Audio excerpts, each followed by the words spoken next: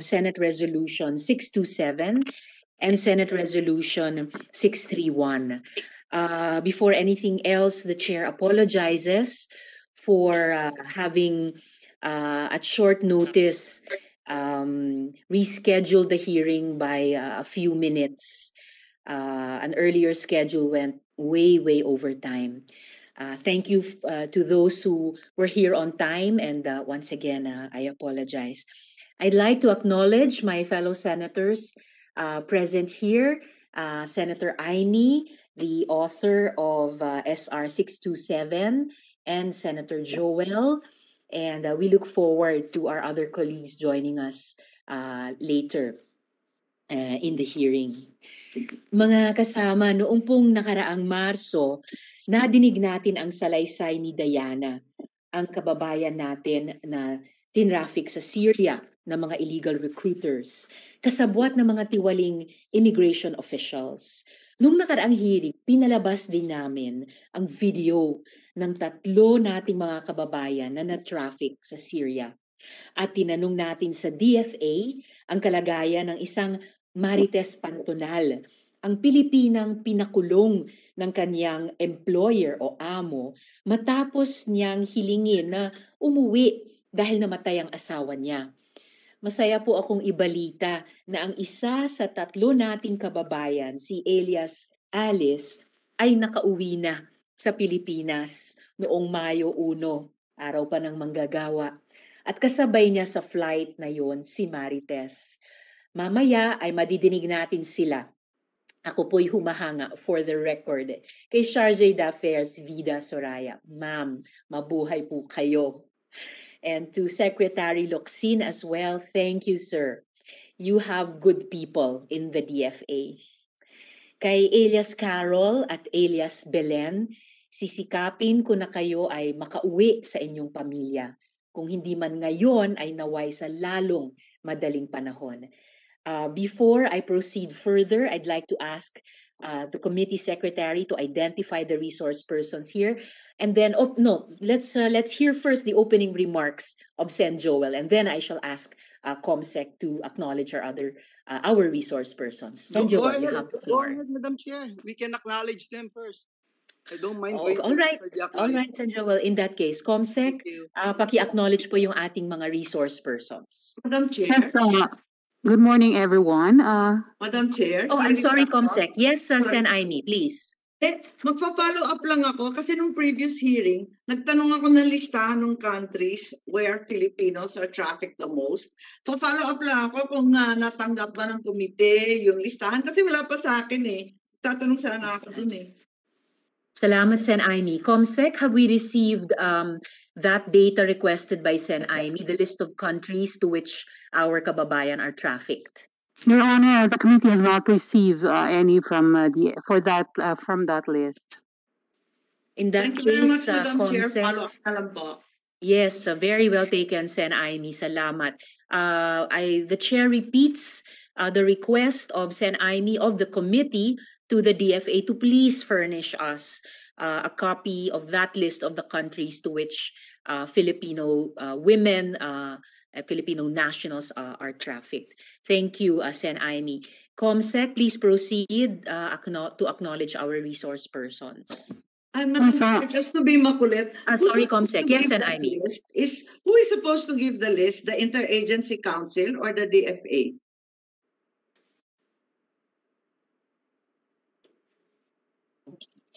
Sen Aimee, I would say it would be both the DFA and yes, uh, Sen Aimee is right, as well the IACAT.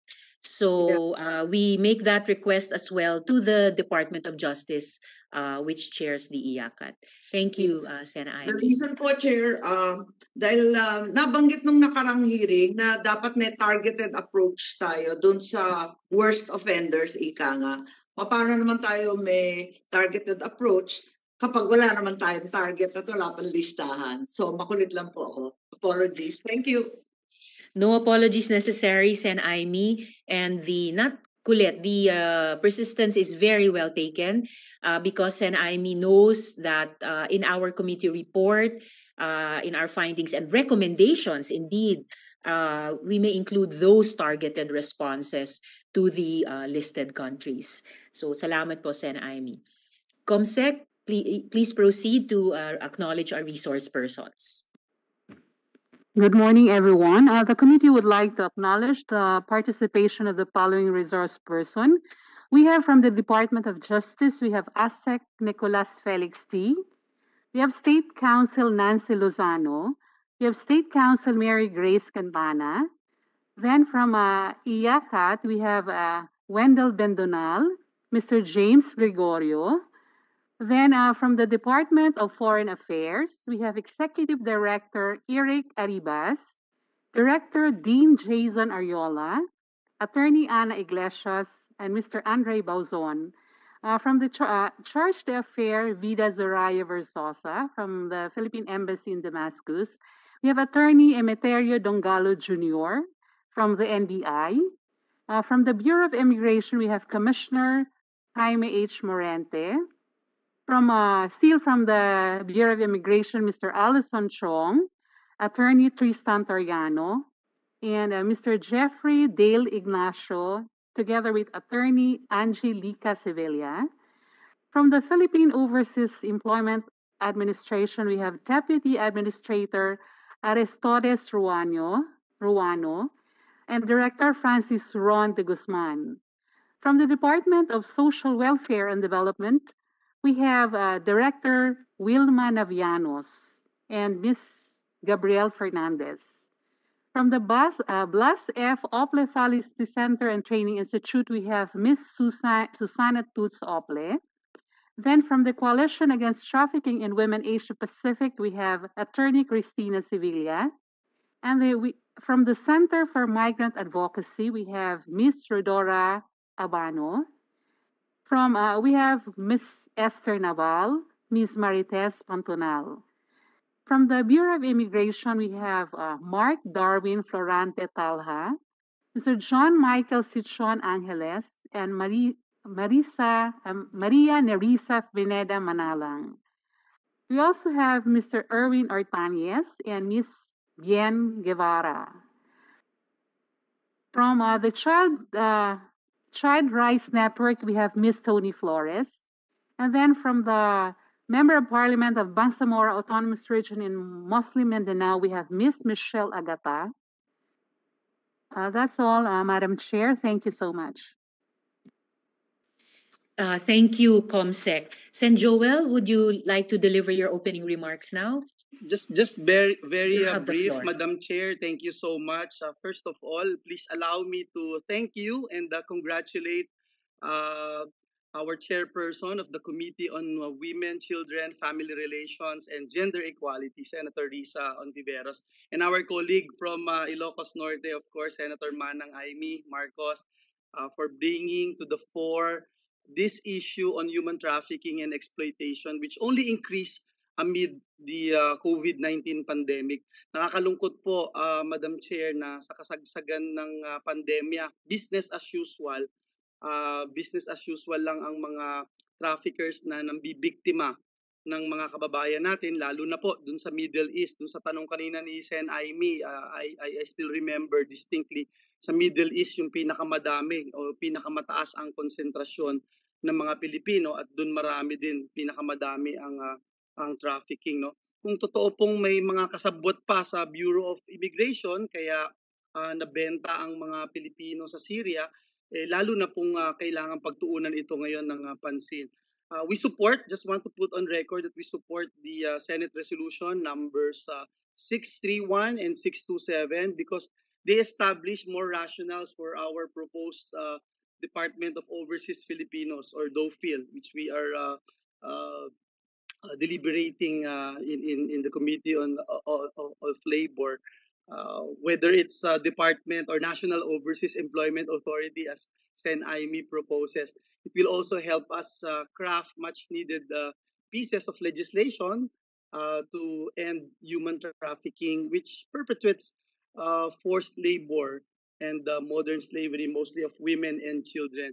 Uh, we found out in one of our hearings, uh, and I would just like to share this uh, to the body, uh, that illegal uh, recruitment leads to human trafficking. It disgusts me that our track record uh, chasing and bringing illegal recruiters to justice is very poor.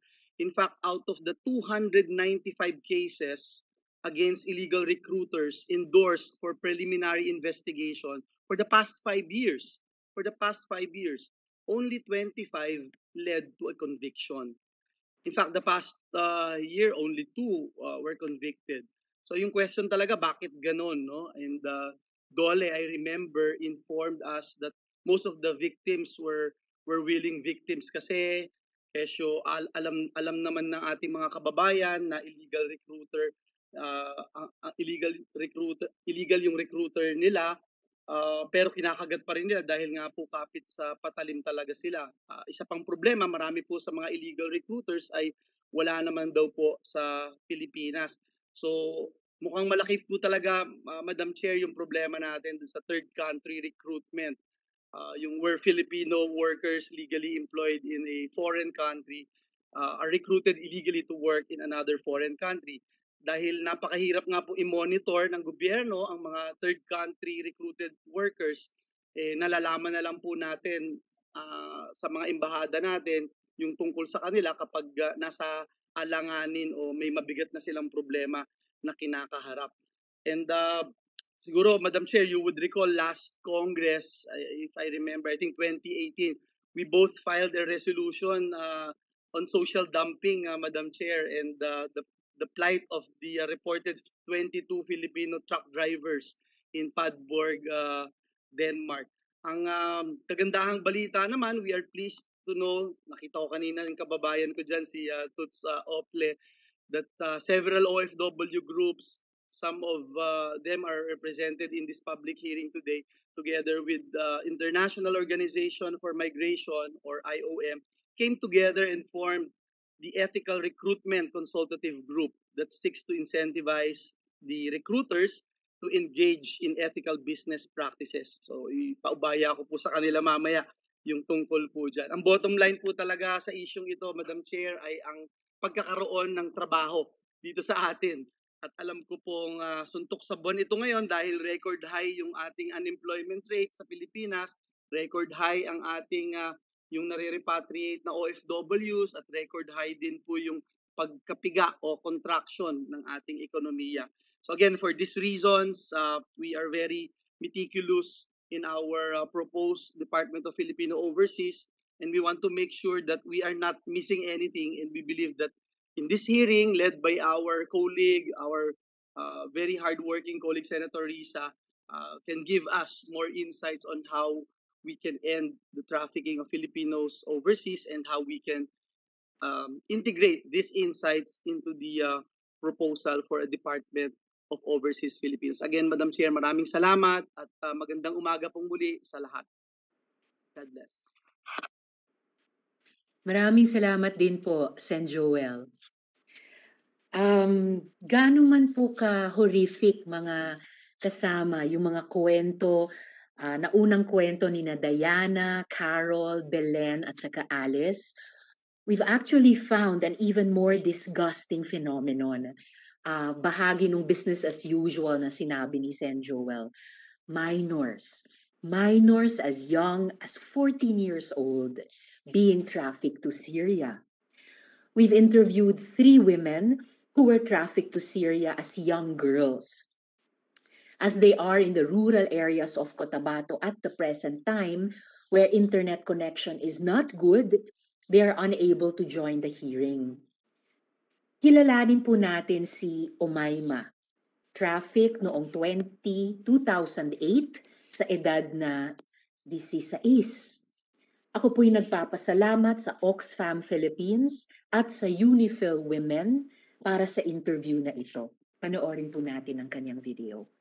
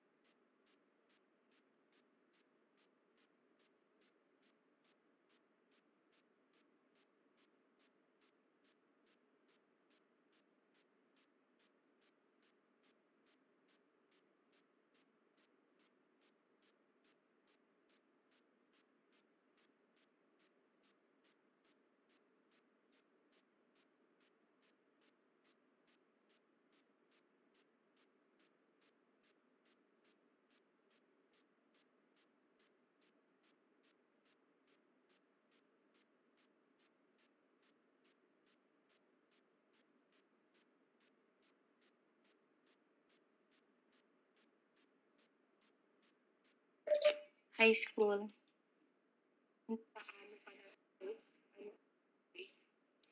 Ah, may pumunta po dito na isang lalaki na nakiusap sa akin na ah, mag-apply pa papunta sa abroad po. Dati po nag-aaral ako sa high school. Hindi po ako nakapagtapos dahil po na-recruit po ako ng isang agent ah, dito sa amin. Sabi po niya gusto ko daw pumunta sa abroad. Sabi ko, opo, nalingnan na po yung isip ko dahil sa papun- pag-apply papunta sa abroad. Pero hindi po niya sinabi na sa Syria po ang aking pa, ah, destination po. Ang sabi lang po sa akin, mag-apply po papunta sa abroad. July 7, 7 po, 2008. Pumunta po ako ng Maynila. Bali po na ang nangyari po doon sa bahay ng recruiter ko, kasi po minor de edad po ako nung pumunta ako ng Maynila na recruit. 16 years old po kasi ako dati nung na-recruit ako ng agent. Na-read po yung bahay ng re- recruiter ko po. Ah, Na-read po ng mga po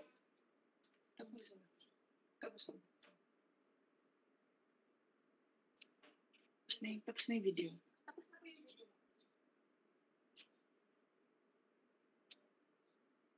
Yeah, I apologize for the first seconds na nawalan po ng audio pero in large part po na rinig po natin yung salaysay ni ni Omaima. Meron po palang na, na-raid po sila no so mamaya pwede po nating itanong sa ating NBI resource person kung ah, ano po yung nalalaman nila sa ganitong mga raids sa mga lugar na mga minor de edad po ang ah, naka ah, stop over bago sila padala sa ibang bansa. Ah, ulitin ko lang po ano mga kaibigan, ayon sa laysay ni sa salaysay ni Umayma, hindi niya totoong pangalan ang Umayma. Ito ay ang pangalan sa pekeng passport na pinagamit sa kanya na magkaiba ang edad sa tunay niyang edad. Nakasanayan na lang niyang gamitin ang pangalang Umayma. The committee has a copy of both the birth certificate of Omaima under a different name or her real name and her birth date of 15 December 1991. However, in her passport, her birth date is registered as 10th December 1981. She arrived back in the Philippines in December 2020. Susunod po ay pakinggan natin ang kwento ni Alea, menor de edad din na nakarating ng Syria noong 2008 din. Pakinggan po natin. Wait lang po.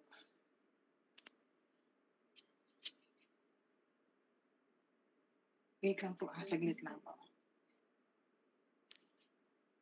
Wait lang po, may problema ako. Mm. Okay.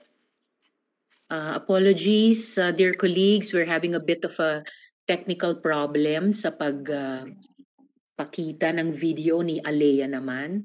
Eto po.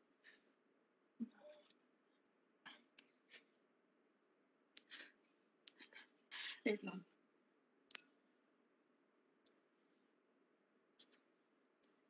May problem. Ah, Portia, pwede patulong. Right, we're just getting some Hindi ko technical assistance para mapanood natin yung maikling kwento ni Alea.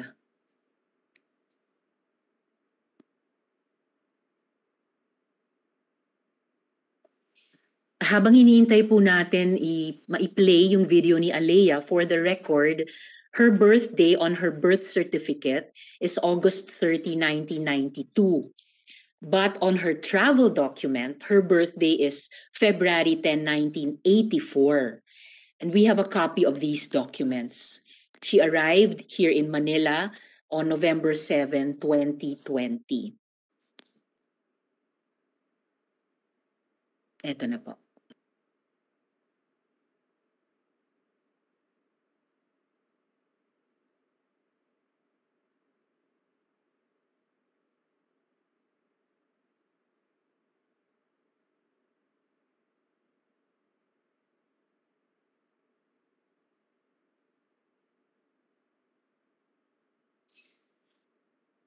Ito na po.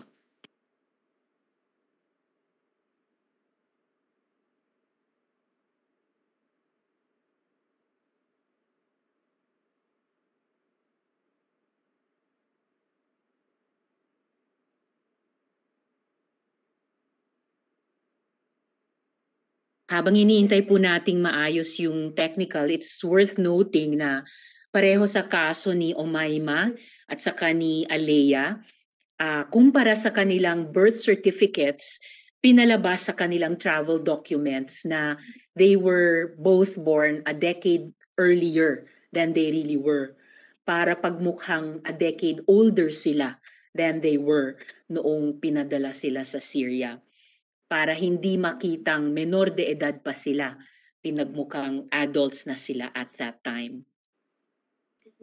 Eto na po.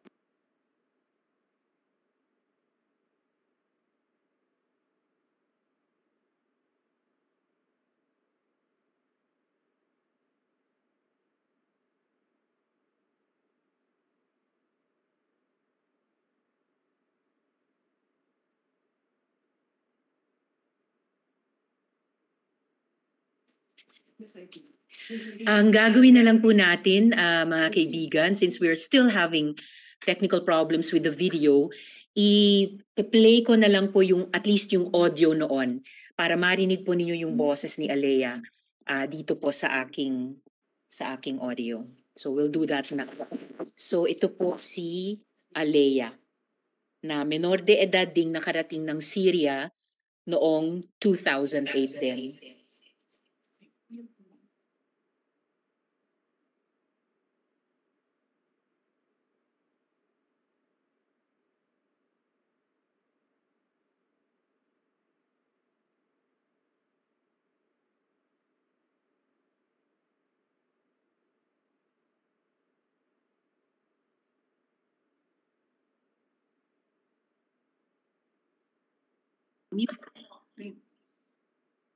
Sorry, sorry, I made a mistake.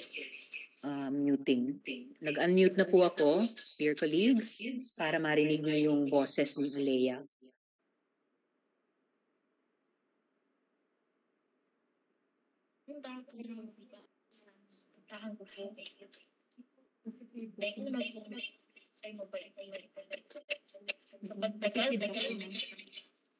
I'm sorry, nag ay pagtagal po. Palagi niya. Sa lahat po, assalamu alaikum. Una sa lahat po, assalamu alaikum. Magandang umaga. Pumunta ako ng ibang bansa. Ang puntaan ko po ay.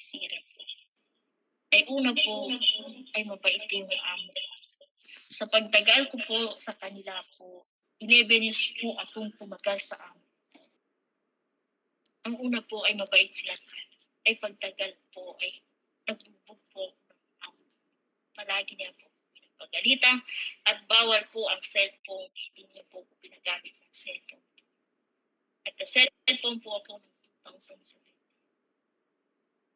At naabutan po ako ng gera po sa Syria.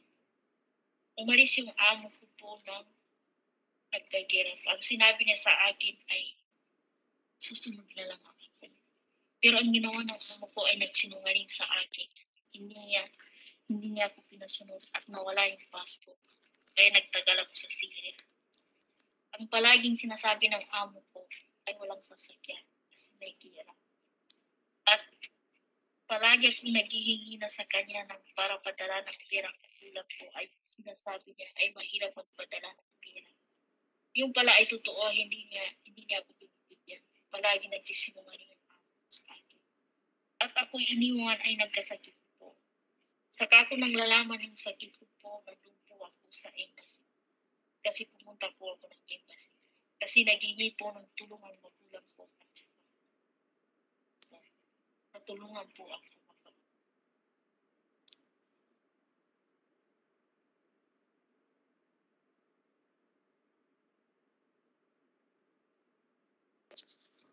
Um, alright, I apologize na yung audio lang ang naiparinig namin but uh, I belatedly received uh, an advice here about how to show the full video. Susubukan po natin gawin yan uh, during this hearing.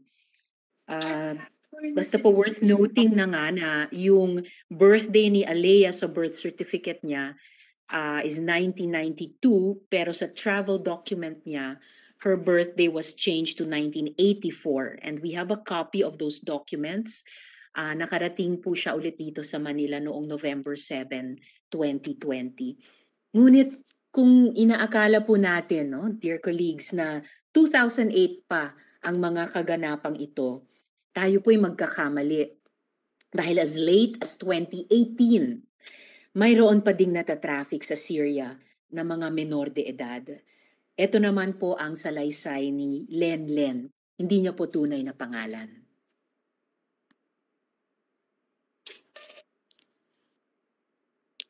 Bago ako magsimula, kinukumpirma ko na ang pahintulot ng iyong magulang, specifically ang iyong nanay, ay ating nakuha. At ang nanay mo ay katabi mo ngayon, no? nasa paligid ngayong interview na ito. Kinukumpirma mo ito? Ah, okay. Oo. Nakit- oo. Okay. Paano ka na-recruit um, papunta sa Syria para magtrabaho? At ilang taon ka noon? 14 po. Tapos pinalitan lang yung yun po sa passport pati yung ip ko para patama po ako. Ang ibig sabihin ba nun, hindi ikaw ang nag-apply ng passport mo? Hindi po. Yung recruiter po po. So, ang binigay mo, anong binigay mo lang sa recruiter? Wala, wala po akong binigay sa kanya. Pumila. Pumila saan? Ano po? Pumila ka saan? Doon sa uh, DFA po. Tapos sa Cotabato po. DFA Cotabato. Tapos, um, nakuha mo na yung passport mo, um, pumunta ka ngayon, ah, saan ka dumaan na airport paano, palabas? Palabas po na naiyak po. Saan na iya? Anong taon ito? Ulit? 2019, 2018 po. 2018. Alam mo ba na pupunta ka sa Syria? Hindi Anong alam mong pupuntahan mo? alam ko sa po. ang alam mo sa Dubai ka pupunta. Tapos, ah, nangyari na sa Syria pala. Doon sa immigration, paano ka naka paano ka nakadaan o nakalusot sa immigration? Po. Binigay lang po yung passport ko. Tapos, yung may babae po na nag-guide sa amin. Yun lang po. Tapos, mula sa sa Pilipinas, lumipad kayo ng Kuala Lumpur, tama? Sa Kuala Lumpur po. Oo. Tapos, Tapos, pagkatapos nun, sa Columbus yata, Col- ano yung Colombo? Colombo? Colombo. Oo, Colombo, oo. doon po sa Colombo. Tapos, Stop over po namin doon. Pagkatapos ng Tapos po, Colombo, pagkatapos, sa Kuwait na po. sa Kuwait. Oo. Pagkatapos ng Kuwait, Damascus na po. Doon na po nalaman namin na da, na po kami sa Syria. Kasi may may na, doon namin nakita yung ticket namin. Tapos po pagdating namin sa Damascus, yun po, kinuha yung phone namin, uh, i-medical kami. Tapos yun, bumalik po kami sa agency. Pe- Pero yung agency namin, ayaw na ayaw na kami papalitin ng amo kasi po, mataas po yung binayad sa amin ng amo namin. ano yung dahilan kung bakit ayaw mo na sana sa kanya. Ayaw ko sa kanila kasi po yung na mahirap po yung trabaho po. Na, hindi ka po po nila pinapakain ng maayos at sinasaktan ka po po nila. Anong klaseng pananakit? Yung ano ba, sinas, sinasampal po, pinapalo, pinupurot, pinapal po nung pina, pinaglilinis namin ng yung map, po. Tapos, paano ka nakatakas? Tumalon po ko sa bintana. Second floor po yun, doon sa Okay. December 14 po tima- tumakas 2019 sa kanila. Tinulungan po ng police ay laps. Tapos po sabi nila sumama daw ako sa amo ko kasi siya yung bibili ng ticket ko. Tapos po, pagkatapos po, suma- sumama po ko sa amin kasi yung po sabi nila. Tapos pagka uwi ko dun sa bahay na pinaglinis po, tapos pinagkanto ako ulit. Sinampal pa ako, tapos yung mga kanong amo ko, naging lahat ng katawan po, tapos po, tapos po, yung ah, hinandado po nila ako sa isang kwarto, tapos bago nila ako hinatid sa airport, tapos bago po kumalis, tinuraan pa ng amo ko yung mukha. Tapos, kinuha ka sa embassy, dinala ka sa shelter. Tama? Ano yung naging karanasan mo sa shelter? Ayun po yung, yung may naging issue po ko doon, yung pagpunta ng isang araw, punta po kami sa court, tapos yun po, ang nakasama ko po doon si, si June, yung Carillo yata, yun pati yung si Ramsey, yun po yung nakasama. Si June Carillo at saka si Ramsey ay empleyado ng embassy. Tama? Opo, sila po yung ATM doon. Opo, sila po yung ATM doon. Tapos po, ATN, ibig pagka- sabihin assistance to nationals, ano? sila po yung nagmamahal po ng papeles namin doon. Tapos po yung pagka, pagka uwi namin po, papuntang shelter, ayun po, iniwan lang, iniwan kami ni Ramsey.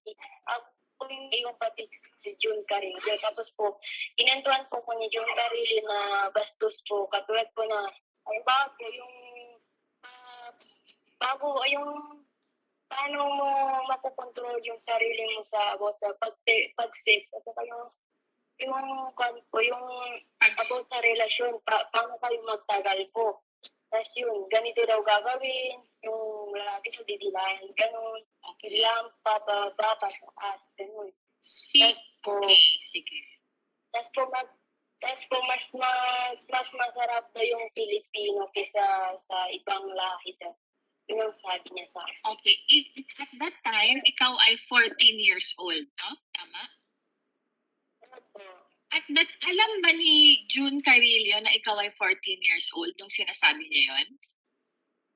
Opo, alam niya po yung na minor po, sir. Okay, okay. Kasi nung bago po kami pumasok doon sa shelter, yung pagkakuha po lang, pagkakuha nila sa amin, alam na nila po na minor po kami. Okay, okay. Tapos, sinumbong mo ito sa embassy. Hindi po, nagsulat po ako, nagsulat po ako na gano'n, na tapos pina, pinapunta po sa ambassador. Tapos parang ako pa yung masama.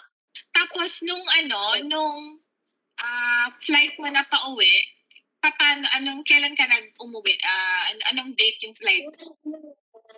Nung umuwi ako, mm, January 29 po ako nag-flight. Tapos dumating ako dito sa Pilipinas, January 31 po. Tapos Okay. yun po, pag, yun, bago umuwi, ayun, sumulat yung nanay-nanayan ko doon na sabi niya, humingi daw ako ng sorry sa kanila Ramsey. Sandali. Kasi kesa naman, Yung nanay-nanayan mo ang nag-utos sa'yo na sumulat ka at humingi ng sorry. Opo, siya na po yung nagsulat, siya na po yung nagsulat, tapos pinakapi lang sa akin. Pinasulat yung sarili kong letter, uh, writings. Ah, kumbaga, meron siyang sulat tapos kinopya mo. Ganun po, pinakopya lang po sa akin. Tapos po, pinalagyan ng pirma. Ah, okay. Um, pero Opo, tapos sino ang nag alam mo ba kung sino nag-utos sa kanya noon or hindi mo alam? Hindi ko po alam, yun lang ang sabi, yun lang. Yun lang ang sabi niya sa akin. Bakit mo, Na- oo. Bakit mo, bakit ka pumayag na kopyahin yung letter na yun? Ano yung Sabi naramdaman niya po kasi, para, para wala daw sa embassy, at saka po para, po, at saka po, hindi po niya ko maawa sa kanila na sila po ay mawawalan ng trabaho, silang dalawa. Tapos si Ma'am Army lang po, lang po na mawala na daw si Ma'am Aileen ng trabaho kasi po mag-isa pa lang niya po, isa naman po yung dalawang taong mga trabaho. Mm, okay.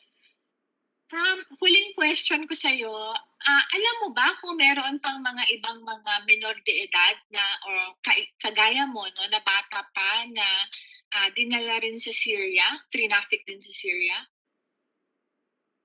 Meron po, meron na pong kasama yun. Yung kasama pong na trafficking po, minor po siya. So mga mara, Mas bata ma- pa mas bata pa sa'yo. Mga ilang taon yon? Yung kasama po na siguro 16 pa lang siya ngayon. Ah, 16 pa lang siya ngayon. So ibig sabihin parang ah, mga mga 11 siya, 11. Opo, opo, nung Okay, sige, sige. Sa- Sana ma-contact natin ano para ma an- para ma-interview din natin. Maraming salamat sa iyo at malaking tulong 'to para sa ah, pagtitigil na talaga natin ng trafficking dahil um, hindi talaga pwede yung pag-traffic ng mga kababaihan at lalong hindi pwede na i-traffic yung mga ah, kabataan. So yan po mga kasama yung um, audio interview ah, ng office ko kay Len Len. And I think we are able now to show you ah, yung video ng salaysay ni Alea para bukod sa pakikinig ay makikita rin natin siya habang siya ay ikinikwento sa atin yung kanyang karanasan.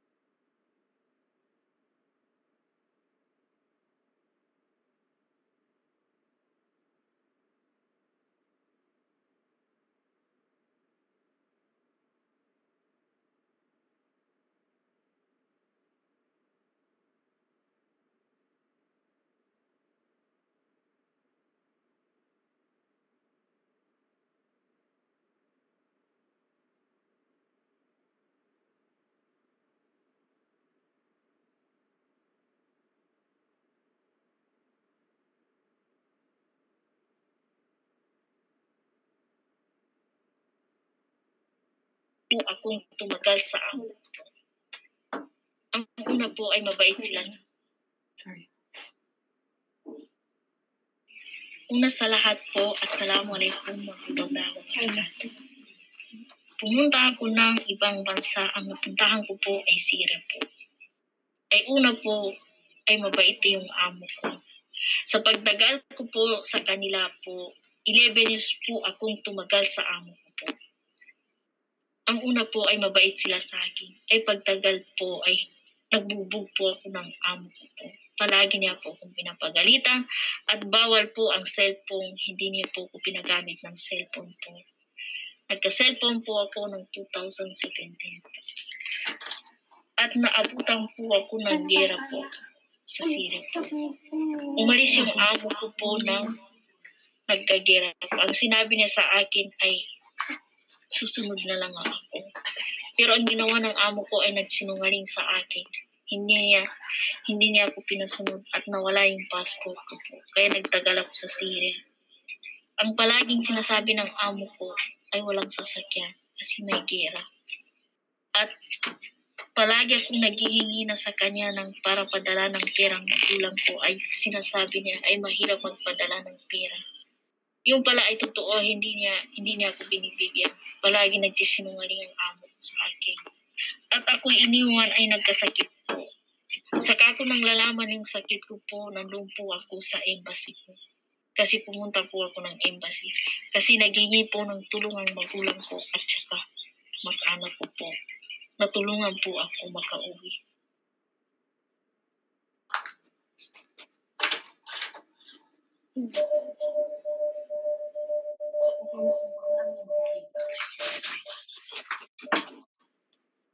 Ayan po mga colleagues, uh, we've been able to view uh, the video of uh, Alea.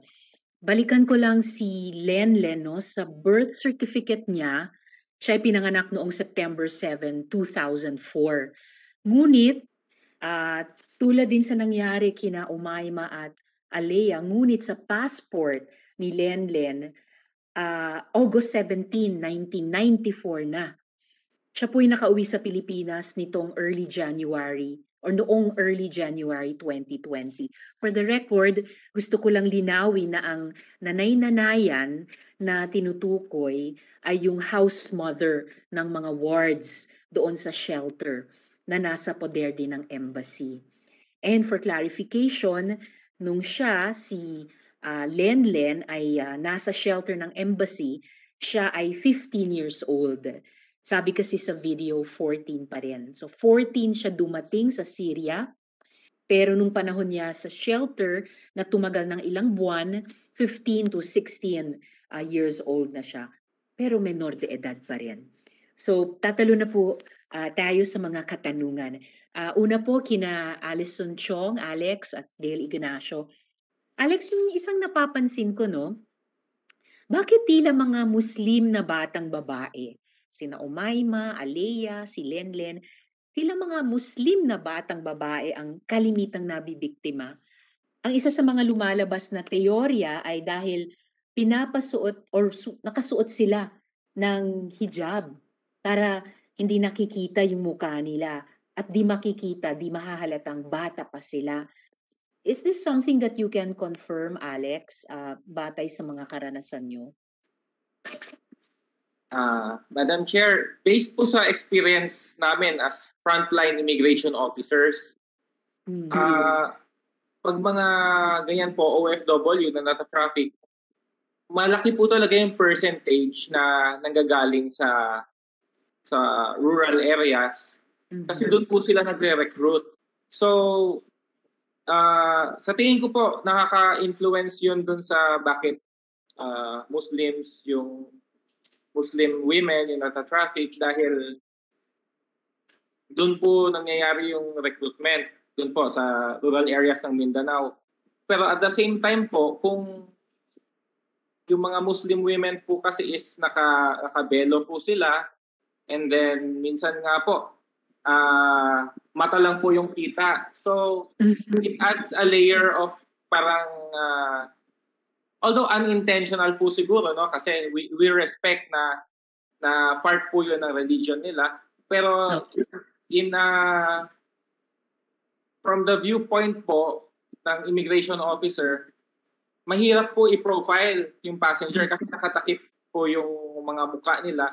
So it adds a layer of camouflage po mas madali po silang ma-traffic mas prone po sila sa trafficking at the same time po uh, Madam Chair gusto ko po i-highlight na hindi hindi po ba dahil sa outbound pastillas, mm. pag nakalista po yung pasahero doon sa Viber group, hindi na po talagang uh, uusisain ng officer yon tatataka na lang po yon So, hindi po na na-profile masyado. And I would like to uh, highlight lang din po na sinabi ko po to ng first hearing po natin na victims din po mm-hmm. yung mga frontline immigration officers. Kasi hindi naman po sinasabi ng mga boss o ng mga nagsusupply sa kanila na minor po yun. Tapos, uh, sunod lang po ng sunod. Tatak lang na tatak. Sunod lang po ng sunod sa leaders. Yun po. Okay, Alex. Pero nabanggit mo rin no, na uh, itong mga nare-recruit, ita-traffic, uh, lalo na mula sa rural areas, bagamat hindi lang mula sa rural, pero marami din mula sa rural at hindi lang sa uh, uh, predominantly Muslim areas ng ating bansa, sa iba rin. Pero in these particular cases, ni-recruit nga sa, sila sa Muslim rural areas at uh, either naka-hijab or naka buong katawan nga kung burka. Uh, but nabanggit mo na nasa Viber list din nasa pastillas list din. So, can you confirm, tama ba na itong dumadaan na underage girls na ang dala ay fraudulent passports, nandun din pala sa mga listahang iyon?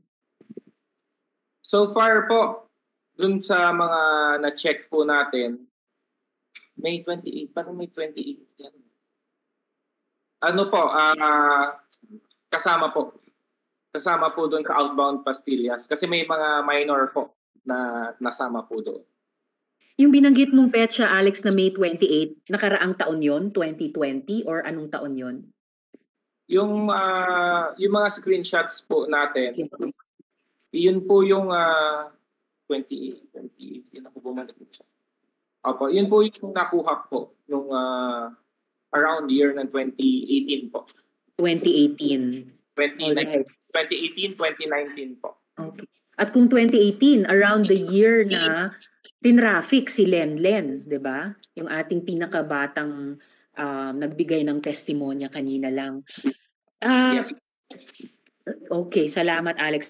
Dale, kapag may dumadaan sa immigration na ganon, ah, either naka naka-hijab or iba pang um, traditional ah, wear ah, ng mga babaeng Pilipina na Muslim, pinapatanggal ba yung belo nila kapag dumadaan sa immigration? Um, ah, based po kasi sa experience ko, Senator, Mm. ah, dahil nga po dun sa religious practices nila, parang Mm. ang protocol po is ah, magtawag ng female officer para tingnan yung yung naka-hijab kung same sa passport, di ba yun po yung protocol? Ayun po. Mhm. Okay. Pero palagi bang ganon? Or kapag ka lamang may suspicion na ah, napukaw sa sa isip nyo na baka potential victim of trafficking sila? Yes, Lagi sir. bang nag... So kapag lang may suspicion. At kapag nasa Pastillas Viber list, has it ever happened na ti- tinatawag pa rin yung female officer para tignan ang mukha nila or hindi na? Um, ang alam ko po, Senator, kapag nasa list po yung passenger, ah, wala na pong tanong-tanong. Okay. Saka lumalabas, ah, ano po, ah, Dale at Alex at ah, dear colleagues, no?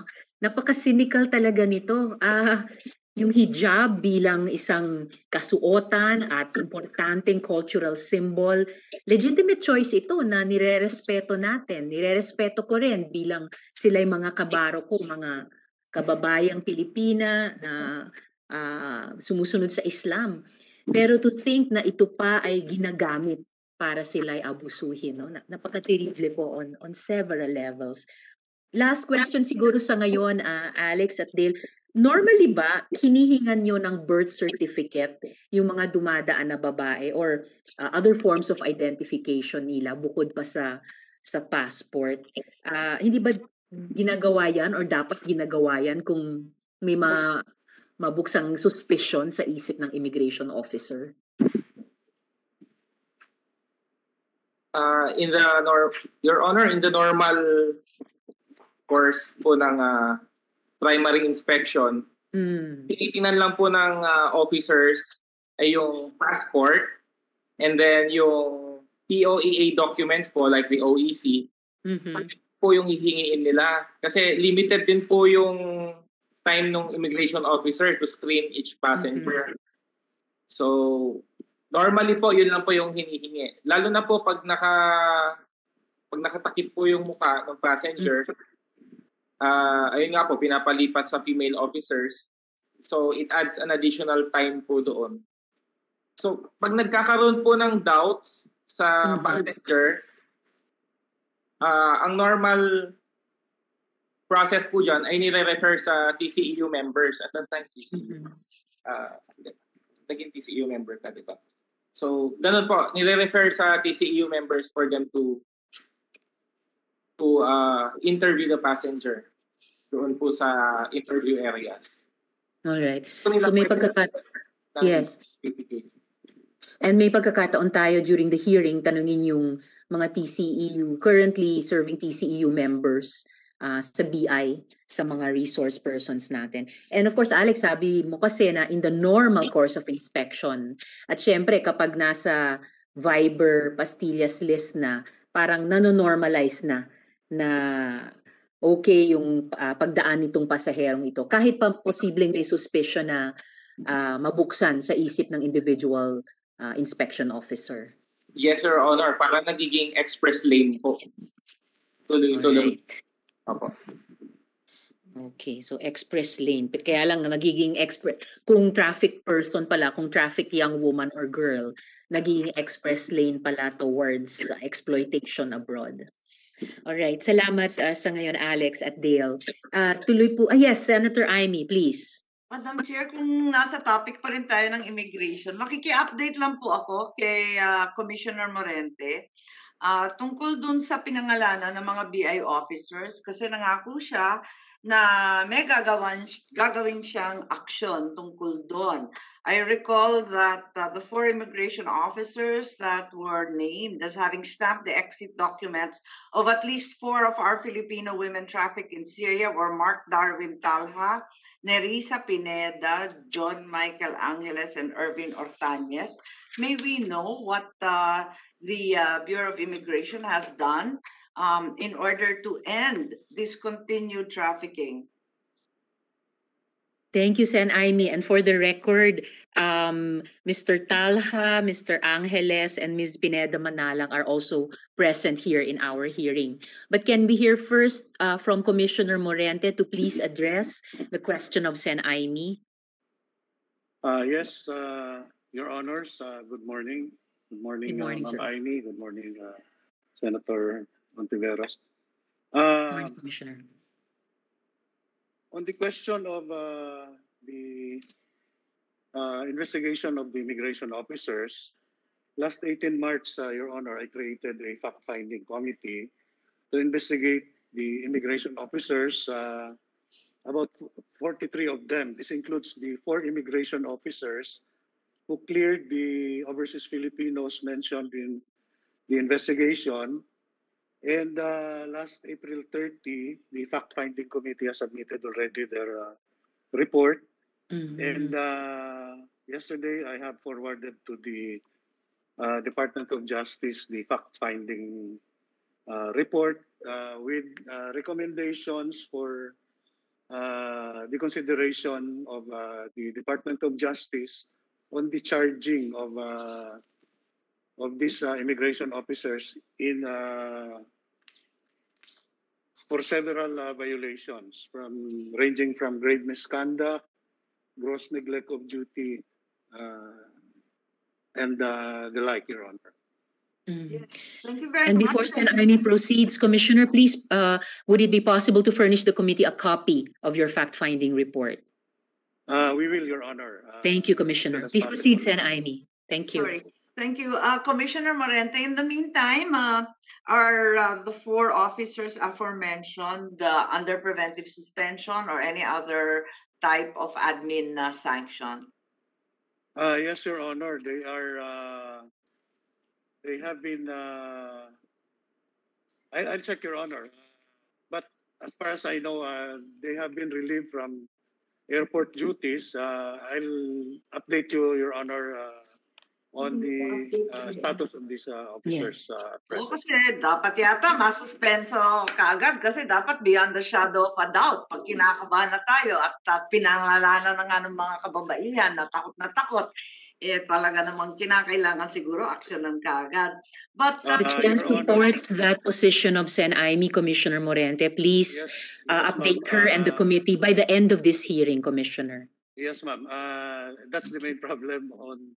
Uh, I cannot just suspend uh, these people. I have to only conduct the uh, the fact-finding uh, committee. But uh, I have uh, I have endorsed it to the Department of Justice. Wala ko kasing administrative sanction na pwedeng gawin ng commissioner dahil they are appointed uh, by the Department of Justice and the suspension of these people uh, rest in the uh, authority of the Secretary of Justice, Your Honor. But I, I have think- relieved ang, them ang from... pagkaalam ko, from Commissioner, their, uh, meron naman kayong magagawa, yun nga lang, at least ma-transfer man lang or uh, ma-preventively uh, suspend or Ah. talagang uh, kailangan pa DOJ action kahit uh, simpleng uh, simpleng sanctions lang?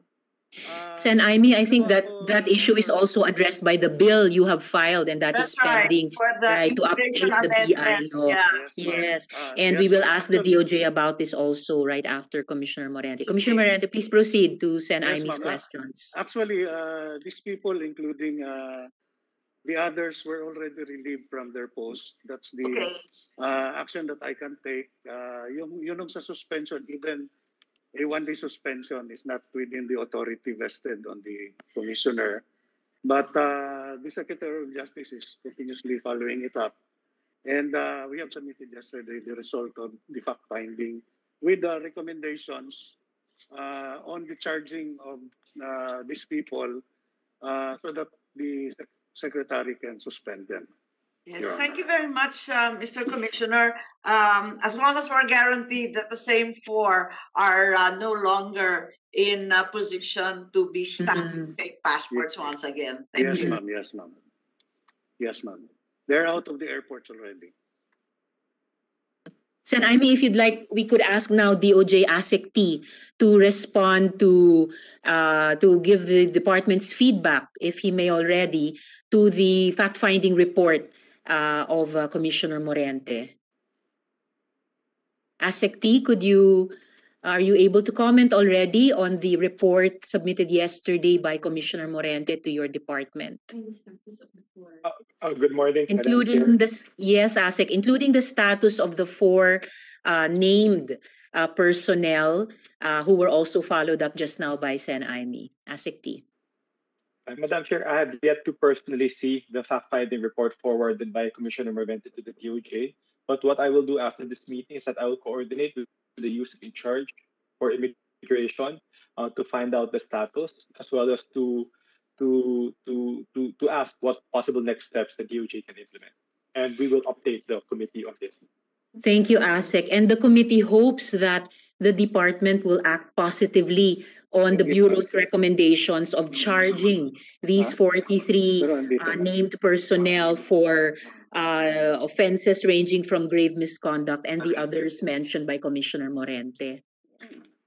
Uh, yes, Madam Chair. More often than not, we the the department adopts the recommendations of the the BI on these matters. Thank you, ASEC. The, the committee looks forward to that. Thank you, uh, Sen Aimee. I'll continue uh, uh, the questioning uh, of our resource persons from the BI. Uh, Commissioner Morente, if, if you could stay on with us po. Madam Thank you Chair, be here. Madam Yeah, Chair, sorry. It's all right. Oh, yes, Joel, Sen Joel. Joel. Please. Yeah, please. uh, just just to point out uh, one more thing with the Commissioner Morente with regard to the uh, Bureau of Immigration's uh, one strike scheme. Meron pa rin po ba ito? Kasi I think it's important to note na ito habang ginagawa natin ito, yung mga na, naiiwan o nandyan pa rin sa BI, at least may alam ho sila na meron tayong mekanismo to check on this and uh, that they will uh, face the uh, full force of the law pagka may ginawa silang kalokohan. Is it still there and uh, intact, uh, sir? Uh, good morning, uh, Your Honor, Senator Villanueva, sir.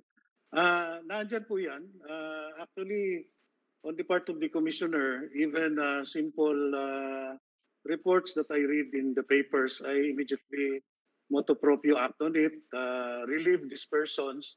But uh, that would be only up to the level of uh, section chiefs because uh, if the uh, persons uh, complained are uh, were designated uh, based on department order from DOJ, I have to seek the uh, clearance from uh, the Secretary of Justice and justify the relief of their persons. But uh, we act on, I act on it uh, instantly, especially even if uh, the reports come from uh, the social media. Uh, that is my instruction to uh, to my chief of staff uh, and to the other uh, officers uh, under my, Your Honor. Thank, thank, thank you, Commissioner Morente. I, I, I, I trust you and uh, uh, may experience na ako sa inyo kagaya nung ni-report ko sa inyo dati dun sa SM Ora, dun sa pagbibigay ng uh, ng uh, special working permits and uh, pati nga yung security guard na kasuhan and uh, that's that's a good thing no ang importante lang ho is tuloy-tuloy po ito masustain and if there's anything we can do uh, to help you uh, please let us know. And again, uh, at the end of the day, this is in aid of legislation. Kung meron kaming uh, po pwedeng gawin uh, uh, to your charter and to, to ensure na magawa po ninyo yung trabaho nyo. Kasi sunod-sunod po, madaming uh, challenges po kayo na nangyayari dyan sa sa inyong uh, ahensya. And uh, we're just here to help. Thank you. Uh, yes, Your Honor. Thank you very much, sir. Thank you, Sen Joel. Commissioner, a quick follow-up lang and it should be fairly simple po.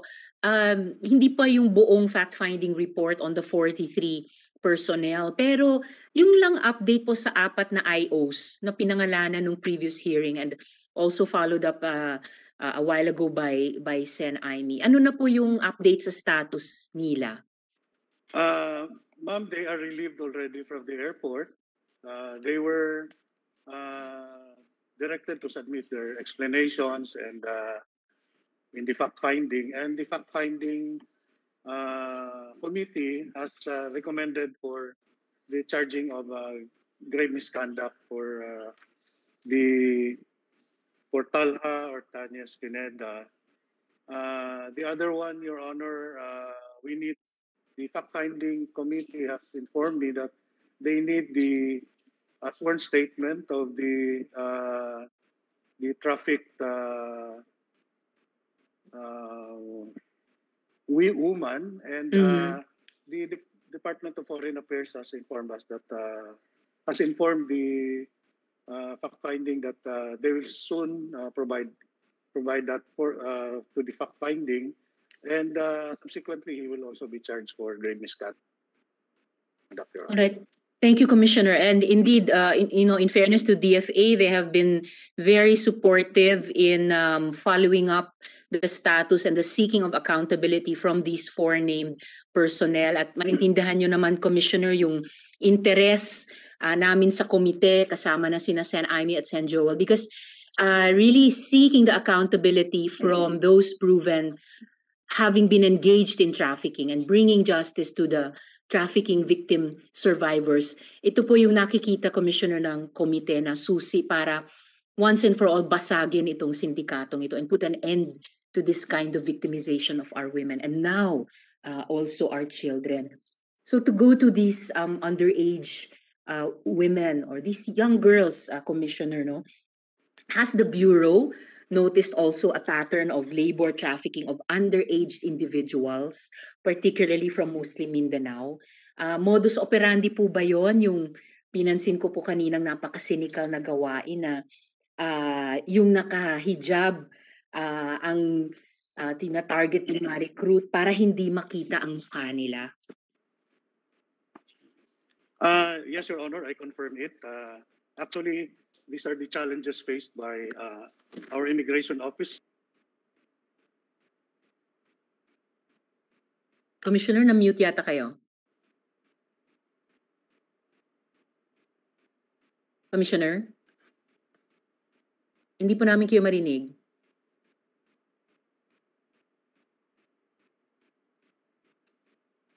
Commissioner, naka-mute po kayo. Paki-unmute. Sir, sa airport. Yes.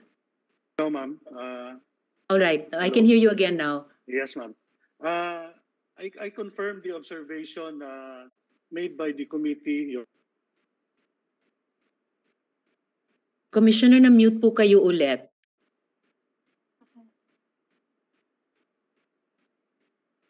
Baka may problema sa signal, Commissioner Morente. Hello. Yes, Commissioner, I can hear you again. Yes, ma'am. Uh, I am clear. Uh, naririnig na po, ma'am. Naririnig na po. You were say, starting to say that you're confirming certain observations of the committee. Yes, ma'am. I I, I confirm it uh, in consultation with uh, the chief of the uh, TCEU, the Traffic Control Enforcement Unit. Just for the information of the body, we have three units uh, in the airport that's conducting the departure and uh, arrival formalities. The first one is the counter officers. They only have to process the uh, passengers for 45 seconds.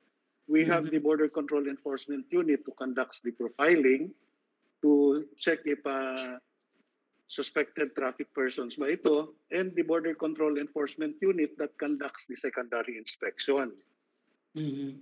Uh, in 2018 po, we had uh, intercepted 182 suspected underage or minors, while in 2019, uh, 21 were intercepted, a total of 203 for uh, 2018 and 19.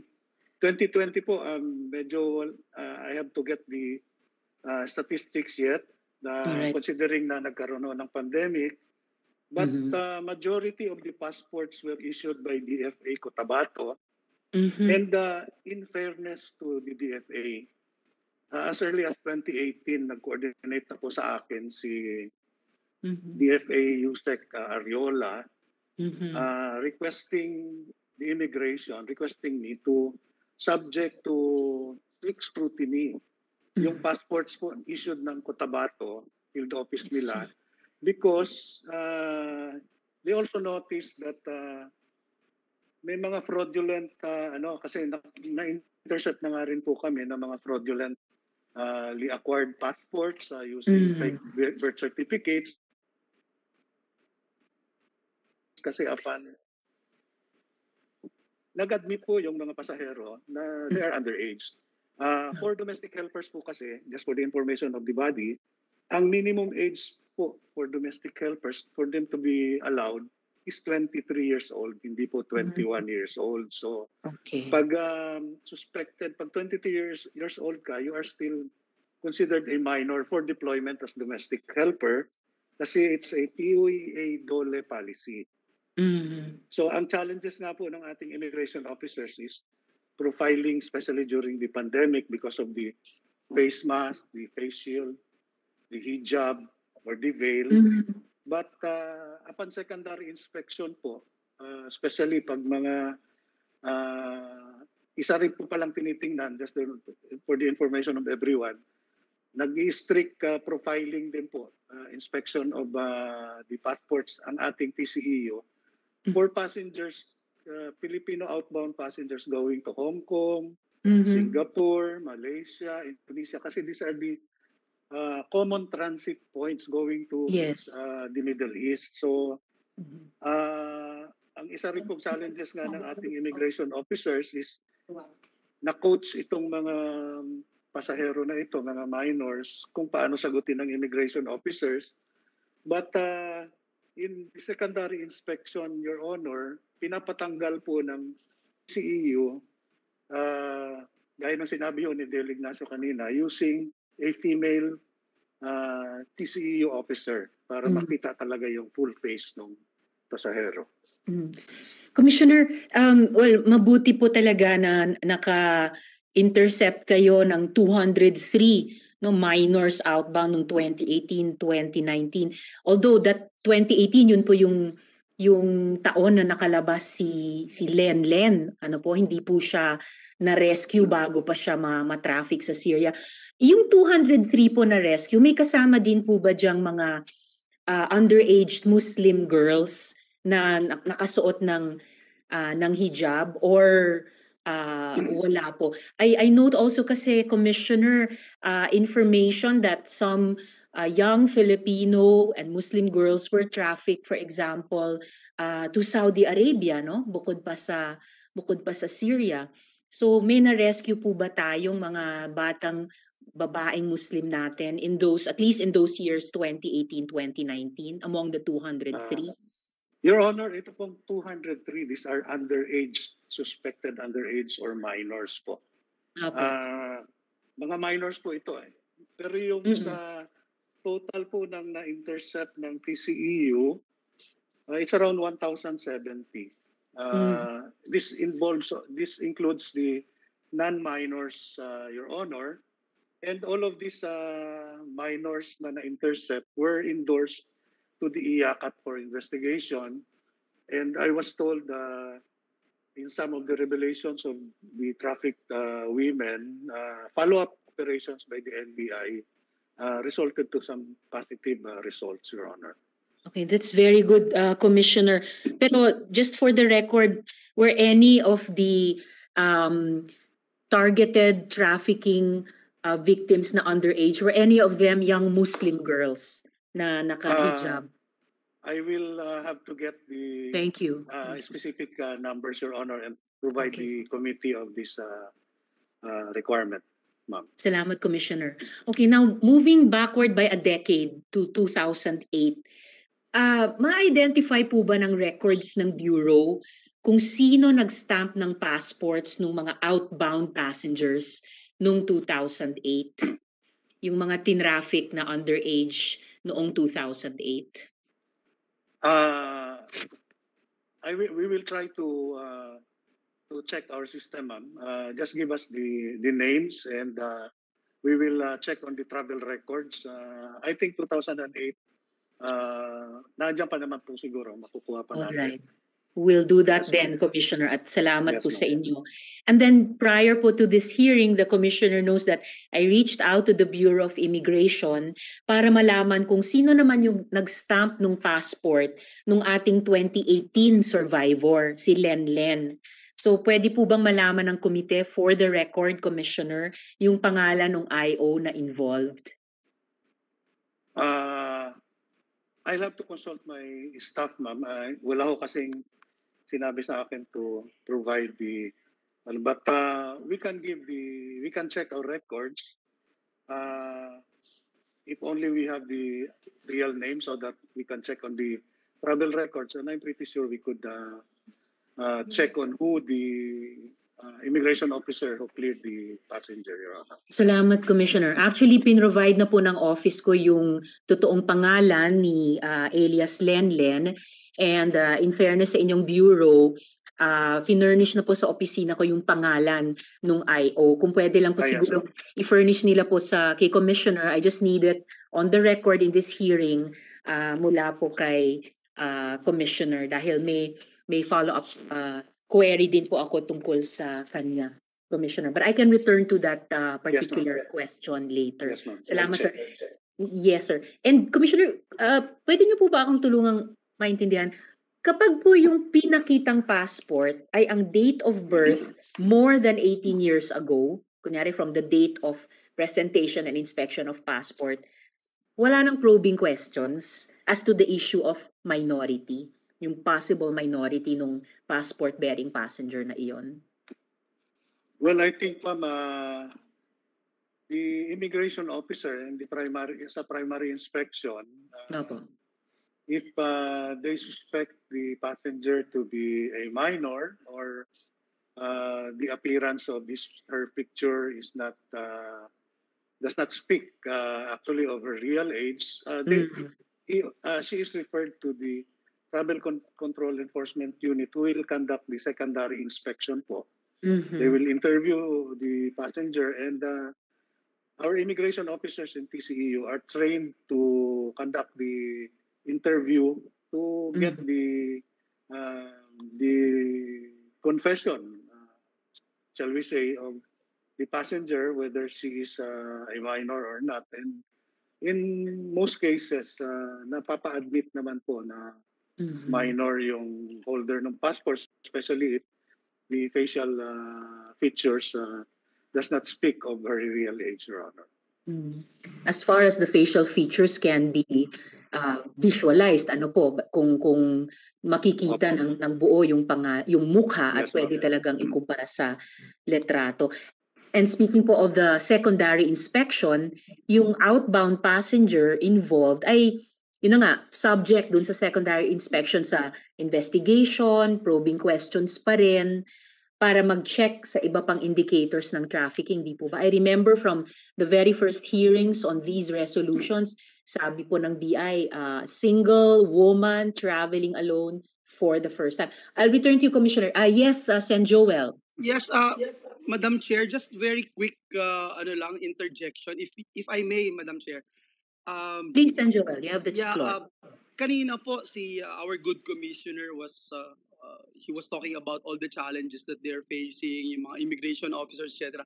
But I think he failed to uh, mention one great challenge that they are facing is that pag may kasabwat, kasabwat sa BI, kasabwat sa anumang government agency. So, ang ang ang gusto ko lang sanang itanong Madam Chair doon sa ating uh, uh, whistleblowers kanina binabanggit po nila no may discretionary naman yung yung ah, ah, may discretionary powers naman yung immigration ah, officer eh, on deck. But as mentioned earlier, if it is on the list, like yung pastillas, sa, nasa list, pinapabayaan na, no? Siguro nahihiya, gustong makisama, etc.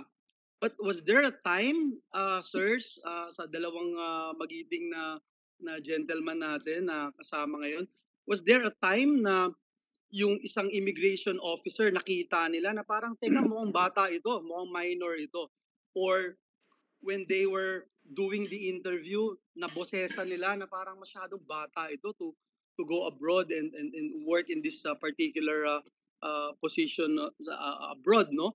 So with that uh, may nangyari na ba na ganon tapos nakita nila ay kaso nasa listahan eh so hindi ko na hindi ko na ito ko-question. Was there a time na gano'n? May nangyayari ho bang gano'n, sir? Sen Joel, tanong po ba yan kina Alex at Dale? Yes, Madam Chair. Just to point out, Please. Madam Chair, na part of the challenge that uh, that we should be uh, talking about is that kung may kasabwat, 'di ba? Kasi kung may kasabwat, ganun din ho eh. Uh, mapapaalis din ho eh. So kahit may makita ng red flags on the first uh, phase noong uh, pag-interview, kung kasabwat, hindi rin mahihiya din yung immigration officer, makikisama or takot or kasabwat din, kasali mm. din sa sa mafia, then mapapaalis din po. Alex, Dale, pakisagot yung tanong ni San Joel.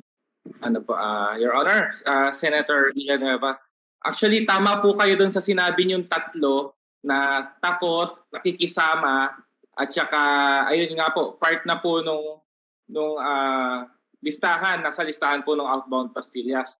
As an example po, pag nasa listahan po yon ng Viber group, as I mentioned earlier, express lane na po yan. Pag nakita yung pangalan, hinatid po nung BI Intel doon sa specific counter, uh, gumawa, may examples po tayo niyan last hearing na dinadala po halimbawa sa counter 1, tapos tatataka na po diretso dahil nandun po yung pangalan sa Viber group ng outbound pastillas. Tapos hindi na rin po yan haharangin ng secondary inspection dahil kasama rin po sila doon.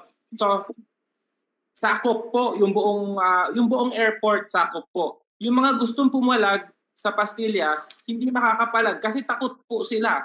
Anong gaga if you are just one person na may halimbawa po may let's say there's someone na may hero attitude, anong magagawa ng tapang niya, mag-isa siya, against people na masyadong makapangyarihan, may position, connections, a lot of money, uh, sobrang dami pong pera, na ma- how, how will someone face that? And as an example po, uh, Your Honor, doon sa yung hindi po tinatanggihan, bibigyan ko po kayo ng slightly different example there are times po na may dumarating na na let's say po uh, Indians na nasa arrival pastillas po ng Indians. Ayaw tataka ng isang officer kasi wala pong wala pong visa yung Indian. Ang gagawin, ililipat lang po doon sa willing na officer, sa susunod lang sa boss na hin, na natatakot na ayaw mag-voice out. Meron pa pong mas extreme example one time, sinama po doon sa listahan ng mga Chinese passengers, Pakistani naman po na passenger. So, nag, pag ganun po, nakita ng immigration officer na we are not we are not being uh, selective or racist. Pag ako po, nagki-clear po ako ng mga passengers from the Middle East like one from Pakistan. Pag nakita po namin good yan, makikita namin, uh, doktor, doktor pala, mag-seminar dito, ah, magbabakasyon lang pala, businessman. Okay po yan. Pero like for this example po, Pakistani, nagbabayad po sa pastillas, bakit po magbabayad ka kung wala kang tinatago? So sinama po yan sa listahan ng mga Chinese, and then inayawan po yan, nagkaroon po ng, uh, nagkaroon po ng issue dun sa airport at that time. And then tumawag lang yung, yung officer, quoting the the PCEU at that time, sabi, uh, sa boss yan, kinlear lang. Kinlear lang po nung, nung isang immigration officer na kung natatakot ba siya o nakikisama or gusto nga po magpabango sa mga boss. So, that, yun po yung uh, sagot po doon, Your Honor.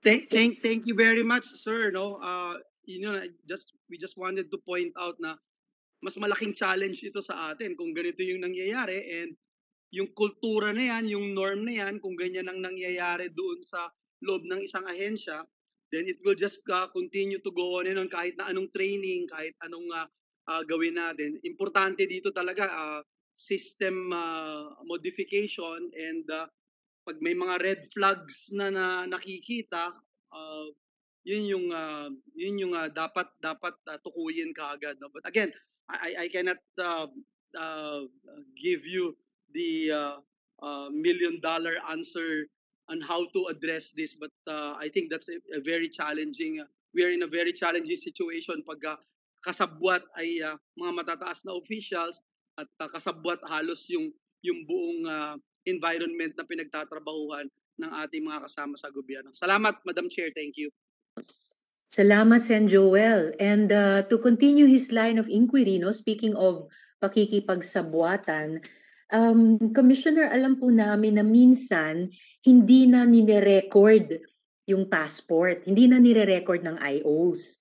So sa sa 349 names po na nahanap sa Viber screenshots uh, ni Alex, ilan po doon yung actually encoded sa system?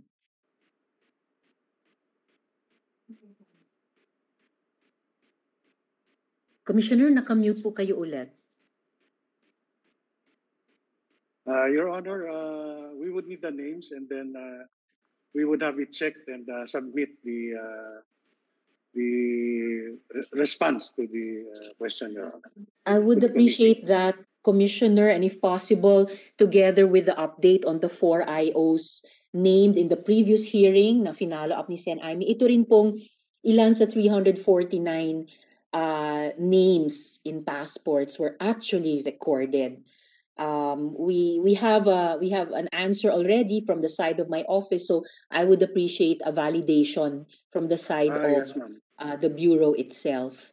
Kasi medyo malaki po yung yung leakage or yung slippage na baka pwede nating i-connect the dots dito sa gusto nating buwagin na problema ng syndicated trafficking talaga. So uh, I will return to that by the end of the hearing, uh, Commissioner. So to return po dun sa kaso ng mga tulad ni Len Leno po. So a young woman from rural Cotabato traveling alone with no history of previous travel tapos wala pong malinaw na finances para sustentuhan yung kanyang uh, pagbiyahe would probably ano po or should probably be red flag kung ang claim po niya ay gusto niya mag-tour ng mga bansa na identified na natin as jump-off points for trafficking, di po ba? Dapat do- that would raise red flags in the uh, eyes of BI, di po ba, Commissioner? Uh, yes, ma'am, definitely. Uh, it would uh, be on the depend on the counter officers and uh, the TCEU uh, at the airports to uh, to assess and evaluate the uh, whether uh, yung purpose of travel ng tao is uh, really as stated uh, or uh, they they are probable tourist workers, Your Honor. Salamat, Commissioner. In which case, uh, yung immigration officer involved may have a defense laban po sa charge ng qualified trafficking. Pero siya magiging liable pa rin sa Anti-Trafficking in Persons Act of 2003. Hindi po ba? Tama po ba yon? Yes, ma'am. Proven, yes, ma'am. Thank you, sir. And kung it is syndicated uh, trafficking or trafficking committed by a group of three or more persons conspiring and confederating with one another, yung prescription period is 20 years, tama po ba? Dalawang dekada. Uh, I, I am not really uh, well informed on the prescription period, but I will ask. Sa, ano, Thank you, Commissioner. Well, for the Uh, record, yun po yung prescription period. Opo, 20 years? two decades. Two decades. Yes. Yes, uh, Sen Aimee? I, this isn't for the Bureau of Immigration. I was just wondering if there's a representative from the Interagency Council for Anti-Trafficking. Kasi nabanggit ni Chairwoman yung uh, syndicated crime. Yes, and Amy, we have here SASP Bendoval and Mr. Gregorio. Uh, SASP Bendoval, could you please take the question of Sen Amy? Yes, Sen Amy, please uh, proceed. Yes, um, I just wanted to know what measures were undertaken by the council to address the issues presented by uh, Chairwoman uh, Ontiveros with the Bureau of Immigration. Uh, baka may suggestions kayo para mas effective tayo or uh, kasi yung aming uh, investigation ay in aid of legislation na napapansin ko lang kasi sa RA 9208 um, which governs IACAT eh, most of the measures may only be availed of by the traffic persons upon their arrival in the country. Pag nakauwi na ng Pilipinas, para mas malabo yung protective measures that can be availed of by traffic Filipinos who remain abroad while they're still stuck there, may nagagawa ba yung ayakat? May dapat bang gawin? Good morning, uh, Madam Senator, uh, if I may. Yes, Uh, please, please, uh, Prosecutor yeah, uh, Bendoval. Thank you, Your- Your Honor. Uh, on the part of the IACAT, uh, as regards to the cases uh, with our OFWs in Syria, we have taken several uh, measures as uh, in assisting our embassy uh, in helping out with uh, the said OFWs.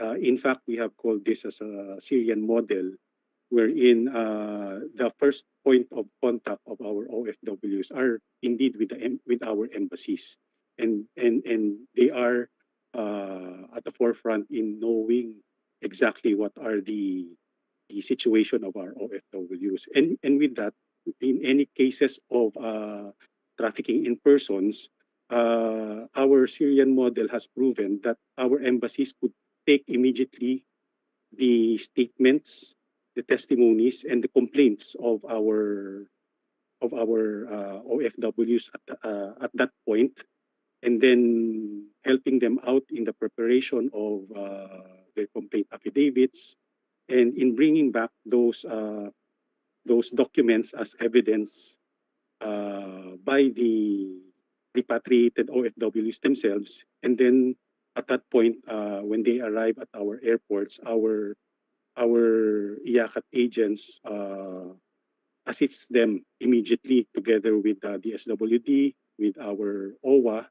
And right now, I believe that current cases are being uh, are being uh, investigated uh, with the prosecution team as well of the POEA. Uh, uh, Your Honor, we we admit sadly that there are indeed gaps to to fill in because uh, what what we are doing right now is it's like cat and mouse, Your Honor. We are just responding to the problem, where in fact we should be going through the root cause of, of this. And uh, we we also believe that in, in previous cases, although although little it may may appear, we have filed cases on on on these recruit illegal recruiters that led to trafficking in persons. And uh, and just to to note on uh, for for this body, it it is not just uh, women and children, and even if you can remember the cases of uh, several. Uh, um, uh, for, for forgive me for the term, uh, uh, certain homosexual or gay persons that uh, filed uh, that were subjected into trafficking uh, somewhere in uh, in the Middle East as well. And if I may just interpose that uh, those uh, the cases have been filed in Manila, and and their recruiter or and the offender has already been convicted by the Regional Trial Court of Manila here. So even though even though uh, the the commission of the offense was committed uh, abroad, uh, we do have extra jurisdictional or extraterritorial jurisdiction over the case, and that that and, and that the said accused was indeed uh, tried in in our courts here.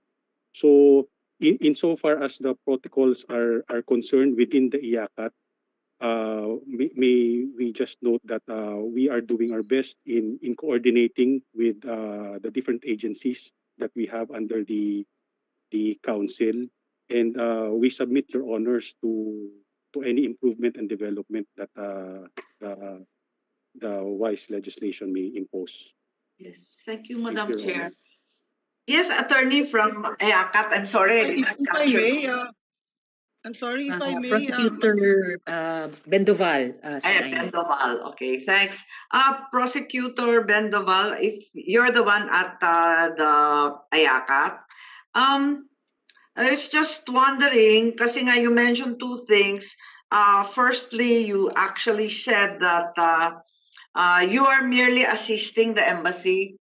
Um, is there any value added to uh, taking testimony, complaints, and statements? Di ba ginagawa na rin ng legal ng embassy yan?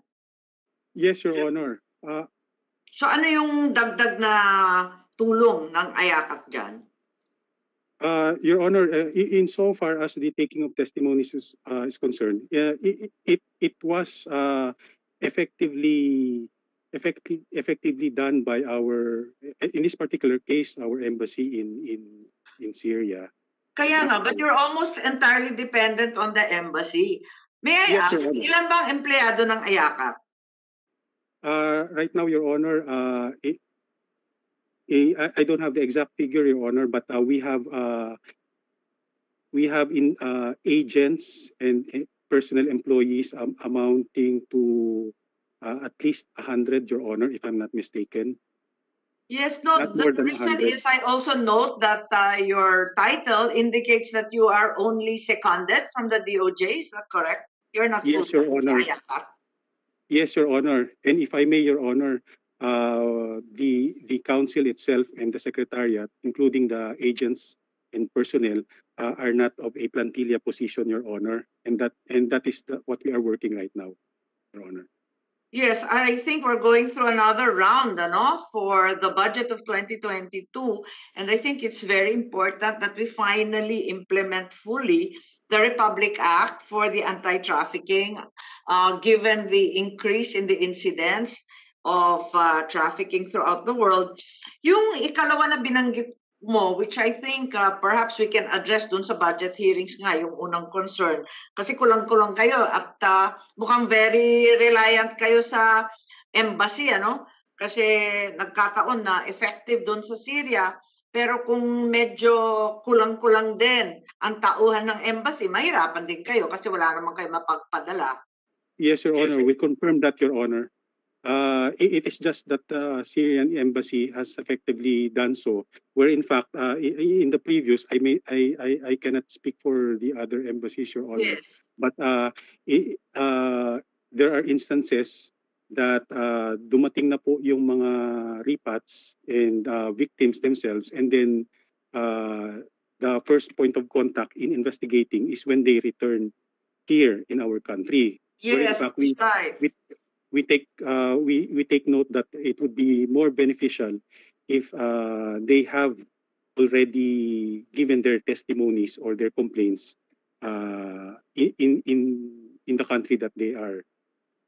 Yes, that's correct. Because the the issue's always been that uh, uh, the testimonies upon arrival are devalued by the uh, by the other country, no? Kasi sabi nila, syempre, under pressure, linuto, etc. So that's one concern. The other thing that you mentioned that uh, perhaps requires legislation, uh, I don't know to what degree my colleagues, my very competent colleagues are here. Um, may sinasabi kayo na ina-address lang ninyo yung uh, yung nangyari na there's no actual prevention, no prevention of uh, anti-trafficking in terms of the projects and programs undertaken by Ayakat at this point. Cat and mouse nga ang pagkasabi mo sa mga recruiter. Um, could you tell us a little bit um, what you had in mind kung anong maganda para you can undertake prevention as well? Yes, Your Honor, we con- we we confirm that. In fact, uh, uh, if, if I if I may go back to uh, to what Senator, the Honorable Senator Villanueva mentioned earlier, that uh, there's a a very thin line uh, uh, with illegal recruitment and as an effect, uh, the TIP cases. So sometimes uh, uh, we cannot just take the illegal recruitment cases per se because most of the time it also involves and and in effect it, it, evolves to a trafficking in persons cases. So at, at, at one at one point uh, there is an issue of uh, illegal recruitment and then on the other there is the TIP. So ang ang sa if I may your honor Madam Senator if, if I may a humble suggestion that we do we, we recognize that there should be more focus on on the on the rights of our OFWs for their own protection. And in in preventing meron naman po tayong mga programs in place. Uh, we we re, we really do hope that uh, our OF, OFWs in going to other countries know their rights already. But uh, we also recognize na hindi po natin mapipigilan yung mga kapit po sa patalim.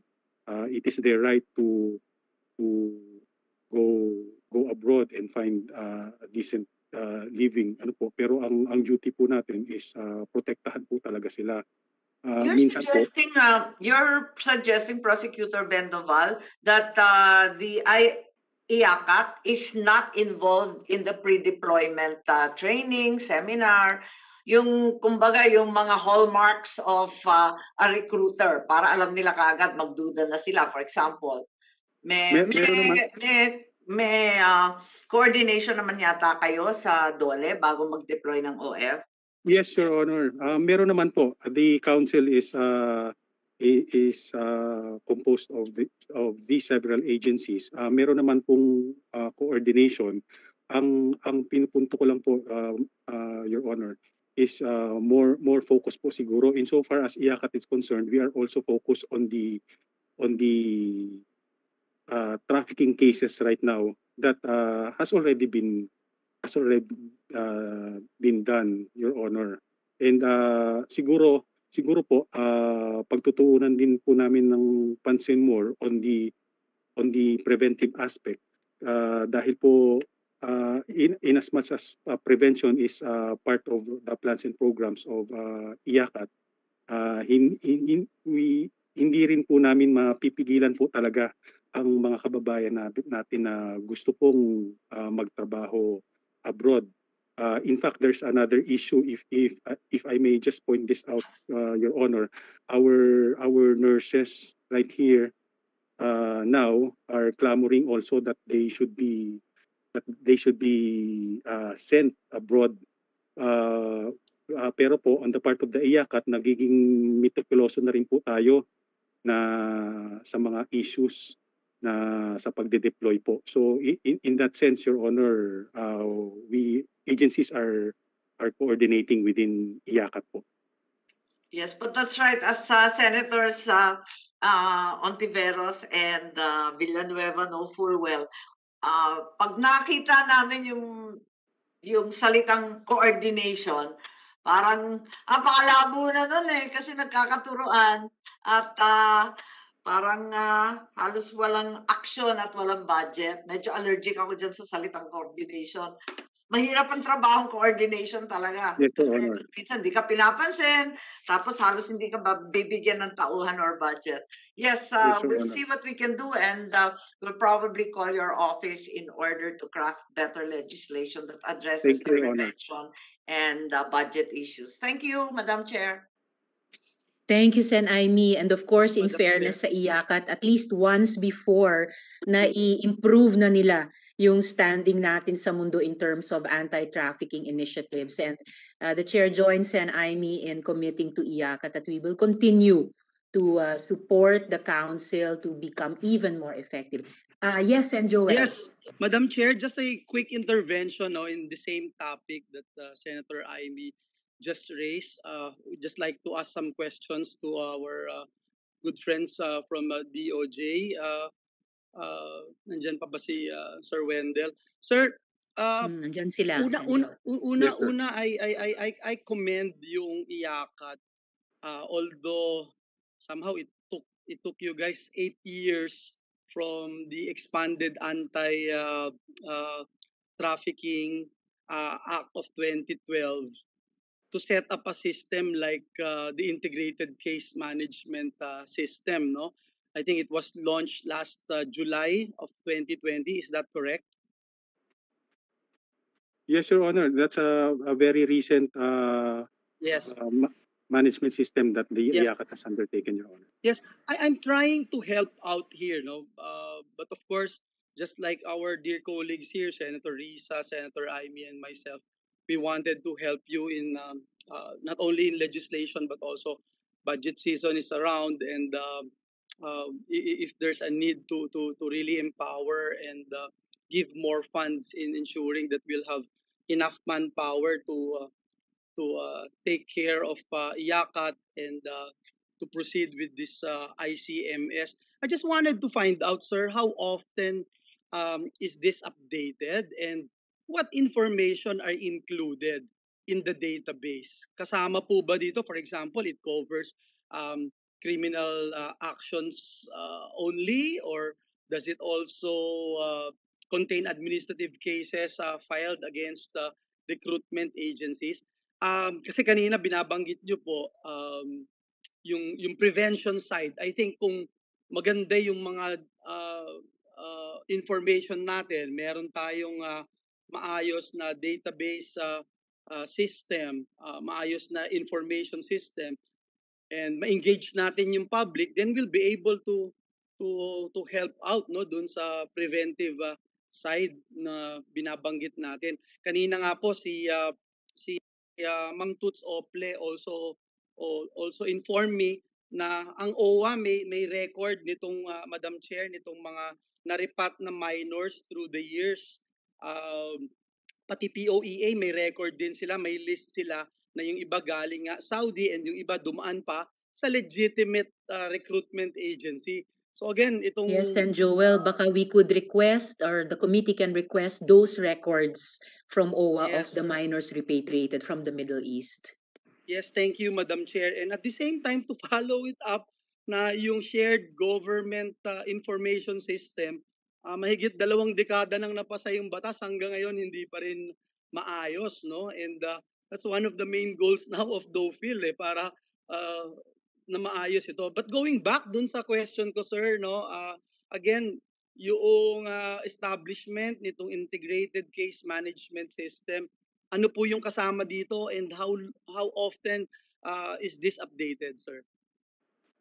Your Honor, uh, given the relatively uh, that the system is relatively new, uh, I I can say for the moment, Your Honor, that uh, uh, all details as regards to the victim themselves, uh, the name, age, and and and the like, uh, is included in that uh, in in in that system, Your Honor. Uh, the addresses, the the age, uh, so so so many specific information as uh, including the the cases uh, filed. Uh, but if Whether if it's I may- criminal or administrative, nakalagay po Uh, doon.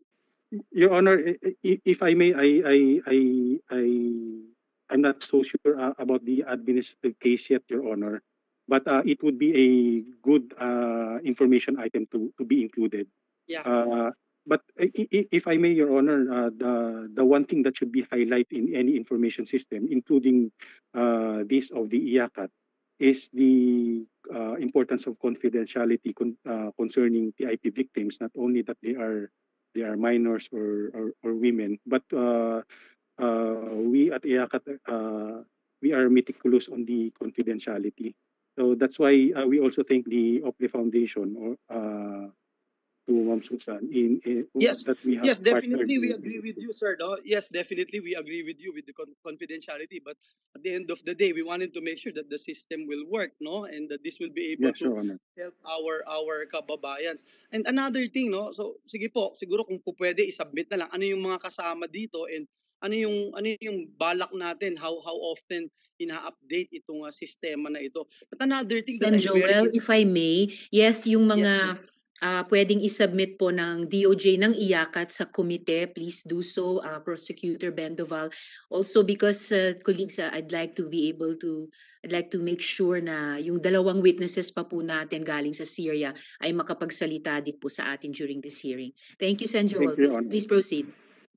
Thank you. I'm, I'm I'm about to wrap up, Madam Chair. I just thought it's important to note na if we want yung preventive uh, side of of things to come in, we have to make sure that the public eh, they are they are also engaged. No, so my my last question lang, sir, is will will the information contained in the database also be available uh, to the public, or at least uh, will the public be apprised um, of illegal recruiters and human traffickers who subsequently get convicted?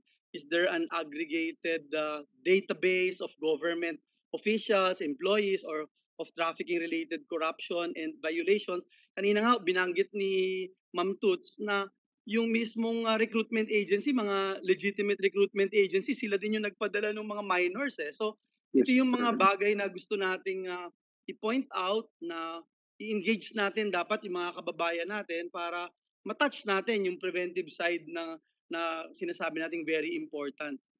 Sir? Yes, sir. Thank you, sir. So you agree with me and uh, but right now it's not being ano, hindi ho siya uh, kayang i-access ng uh, public, hindi siya available uh, to public. Hin- hi- Hindi po sir, hindi po sir, pero uh, uh, we submit po dun sa sa uh, recommendation that uh, for sake of transparency, except your honor, uh, except for the victims themselves. Yes. Uh, we Yes, uh, without all without other ano, information. yeah, without uh, sacrificing the privacy of the victims. Yes. Yes, your honor. We submit Thank, your honor. thank, thank you, sir. Thank you very much. Thank you, Thank you, Madam sir. Chair. Uh, salamat po. Salamat din po, Sen Joel. Ah, so ngayon, ah, kausapin po natin ang ating nakauwi ng mga kababayan, sina Elias Alice at saka si Miss Marites. Miss Alice, Miss Marites, sa kabila po ng lahat, welcome home po dito sa atin. Kumusta naman po kayo? Welcome. Ayan, galing po kina Sen Joel sa ating komite. Miss ah, Alice, kumusta na po kayo? Baka nakamute pa po kayo. Okay naman po, ma'am. Senatora. Okay. Okay, mabuti po. Miss Marites, kumusta? Mas masaya. Miss Marites, kumusta na po kayo? Baka nakamute kayo, Miss Marites. Mabuti po, ma'am. Okay, mabuti po. Sa tingin po ninyo, ano pa po ba yung pwedeng gawin para maprotektahan ang kagaya ninyo, mga kabaro natin, na ang gusto lang naman ay makapagtrabaho abroad, pero na-traffic sa Syria. Ah, meron bang naging pagkukulang sa pagtugon sa sitwasyon nyo na gusto nyong ah, ituro sa amin dito sa komite? Ah, Ma'am, para sa akin, Opo. ah, sana maging alerto na ang mga nasa immigration. Sana ah, lahat ng na, lahat ng nasa airport para malabanan yung illegal trafficking, maging ano sila, maging alerto lang po sana sila. At meron ah malaki ang pagkukulang talaga sa pagtugon da- ah, dahil sa umpisa pa lang ng paghingi ko ng tulong at pati na rin sa mga kasamahan ko na nasa GC mga biktima ng illegal recruiter hindi po natugunan yung mga email namin noon sa GC namin pinasok ko po sa GC namin sila Mariel Josa Mariel Aga ng Omwa at si Ma'am Ariola at si dating Amba sa GC namin para makita nila at mabasa nila ang mga hinaing namin. Pero parang naka ano lang sila. Ginawa ko po nag, nag naggawa po ako ng GC namin lahat ng illegal recruit, illegal trafficking sa Syria lahat yan minessage ko kaya nag, nag-ipon-ipon kami. Meron pong isang advocate sa GC namin. Tinuruan kami maggawa ng email para magsalaysay kami at ipasa sa mga ah, gobyerno yung mga hinaing namin. Pero wala pong nangyari sa mga nagawa naming email. Halos dalawang taon po kami nag-email. Isa pa po, ah, Sige po, Miss Marites. isa lang po ang tumugon sa sa email namin. Tumugon po sa email ko ang ah, Civil Service Commission. Lumabas po yung letter na repatriation ko. Kaya ang saya-saya sa grupo namin sa GC. Pero nabaliwala po yun. Nag, tumawag po ako kay Chito Mendoza para ipaalam kung natanggap niya yung ah, repatriation letter ko na pinadala ng Civil Service Commission. Mhm. Pero wala po siyang sagot. Dalawang taon po akong nag pa-follow up, pati ang asawa ko sa OMWA. Wala pong nangyari. At saka may lumabas po na ito lang pong 2020, nakita ko po sa email ko na binabawi ko na daw po yung repatriation ko Mhm. na nakapirma po doon si Miss Ariola. Then sa, sa right side po ang asawa ko pero wala pong pirma ang asawa ko. And then, tinanong ako ng asawa ko, Pumapa, pumayag ka ba na ah, hindi ka ma-repatriation? Sabi ko, hindi ko alam. Wala akong alam dyan sa, sa binabawi ko na sinasabing binabawi ko yung repatriation ko. Meron po akong mga katunayan, katibayan na na mga email. Pinasa ko po yan sa DOJ. Ma'am, Senatora. Salamat. Maraming salamat, Miss Marites. Ang dami mong ibinigay na konkretong pwede ma'am, nating gawin. si Alice po ako, ma'am. Ay, sorry, Miss Alice. Okay, naka-highlight kasi yung yung ah, box ni Miss Marites. Okay, Miss Alice, maraming salamat ah, sa iyo. At niyayakap po namin kayo sa iyong pag-iyak kanina. Okay lang po yon. At maraming salamat dito sa mga konkretong Eh kasi ma'am, ah, ah, feedback. ang, ang, Ta- ta- yes, at Miss Alice, tanungin lang natin kaagad ang DFA, no? Ano itong binabawi na repatriation? Pwede po bang ah, ah, itanong ah, kay Executive Director Eric Aribas ba? Ah, magandang ED Aribas? ah, magandang tanghali. Yes. Yes, magandang tanghali, ED Aribas. I'm sorry. Ano po itong ah, si, kinuwento ni Ms. Alice na binabawi ang repatriation na inisyong letter ng CSC? Ah, sorry po Madam Chair, hindi ko po alam yung ah, particular na statement po na ito. Baka po yung aking pong colleague si ah, Attorney Vida, baka po may mabibigay po siya na information tungkol po dito sa Syria case po. All right. And and for the record po, ah, yung binanggit na Ariola, si Sara Ariola ba ito? Kasi may isa pang Ariola. Malamang po kung ang ah, pinag-usapan po natin yung DFA UMWA, si Undersecretary Sara Lu Ariola po ang head po niyan. Mm, Pero I see. sa lahat po ng mga ganyang concerns po ng ating mga OFW na may problema, ang aming hong talagang hakbang ay makipag-coordinate po ah, agad-agad sa ating po mga embassies at consulates sa labas para po sila ay mapauwi. Ah, sig- ang kaya nga po si eh, Attorney Vida po ah, napunta sa Syria para ho maayos yung Salamat naman. So, yun po yung mga action po na, na kung ngayon po ang na, nababanggit po ng ating kababayan po na nasa Syria ng mga problema, ma-assure naman po namin na sa opisina namin po under sa leadership po ni sa ni Undersecretary Sara Lu Ariola, lahat po ng mga problema ay tinutugan naman po natin. Ang aming hong talagang objective ay mapauwi ho sila agad-agad. Kung meron hong mga ganyang ah, conflicting statements po na hindi ho na hindi na daw sila uuwi or what not, ang ginagawa ho natin siya, pinapa-verify ho natin yan sa ating mga opisyalis sa embassy. Dahil sila ho on the ground, ho yung talaga ho may contact doon sa OFW para ho ma-confirm kung talaga nga ho ba ganun ang kanilang sinasabi. Kasi ang sa experience po namin sa DFA, ang dami rin po kasi nagbibigay ng kung ano-anong mga ah, storya or statements. So ang pinaka-importante ho para sa amin ay kung ano ho ang talagang sa loobin at kung ano ho talaga ang statement na binibigay po ng OFW na in distress. So ang yes po. Well, mar- maraming, I was about to say lang, maraming salamat, Edie Arribas. Ah, and in fairness sa DFA, ah, maraming okasyon na malaki yung naitutulong nyo, hindi lang sa aming komite, pero sa ating mga kababayang OFW.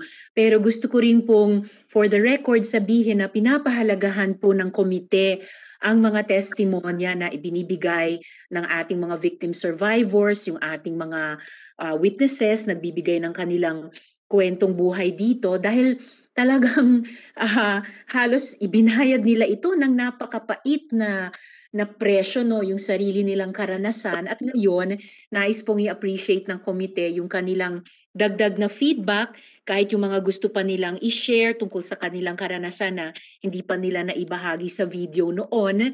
At ito po ay tinuturing ng chair at ng komite na importanteng feedback na malamang sa hindi magagamit natin iba't ibang ah, ahensya sa executive at kami sa legislatura para nga matigil na itong problema ng trafficking, masingil ang accountability ng mga nagkasala, bigyan ng hustisya itong ating mga victim survivors at ayusin nga po yung mga ah, sistema. Dalawa na po yung issue ng pilit pinababaliktad. Ah, si Lenlen po, kanina, si Lenlen sa recantation daw niya. At ngayon, ah, si Miss Alice na ayaw na daw ng ah, repatriation. So mga seryoso, tama po, ah, Edie Arribas, at importanteng feedback na ating i-consider para ah, bigyan ng solusyon no yung mga tukoy na problema, specific na problema, bunga ng karanasan at leksyon ng ating mga ah, kababayan. Halimbawa yung sinabi din ni Miss Alice kanina na di natutugunan yung mga email sa GC, I presume group chat iyan. Tapos ito nga yung seryosong ah, pi- pinalalabas na ah, ayaw na niya ma-repatriate kahit may magandang nagawa ang CSC para sa kaniya na na na-issuehan ng ah, repatriation letter. Ah, tapos yung dalawang taong pagfa-follow up sa isang ah, unit na hindi ah, hindi naging ah, mabunga. So I, I hope na lahat po tayo ditong mga resource persons, lalo na tayong nagtatrabaho sa gobyerno, ay magiging bukas sa ganitong mga feedback. Of course, idadaan natin sa due process, sa fact-finding. Pero, you know, tanggapin uh, in good faith na sinasabi ito ng ating mga victim survivors ng, uh, ng uh, trafficking dahil uh, sa kabila nung napakasakit ng kanilang karanasan, higit sa lahat gusto rin nilang makatulong sa ating mga kababayan at sa aming mga kabaro at yung mga bata pa pa natin. Um, Miss Alice or at Miss Marites, meron pa ba kayong ah, well, Miss Marites, first time niyo po dito sa hearing ng komite, ah, meron din po ba kayong mensahe na gustong ipaabot sa amin ah, at sa mga ahensya ng gobyerno? Meron po, ma'am. Ah, okay po. Nakikinig po kami. Sana po, gusto po na po yung mga illegal recruiter. Saka yung sa airport po. Kasi maraming mga bata po nagpa-abroad.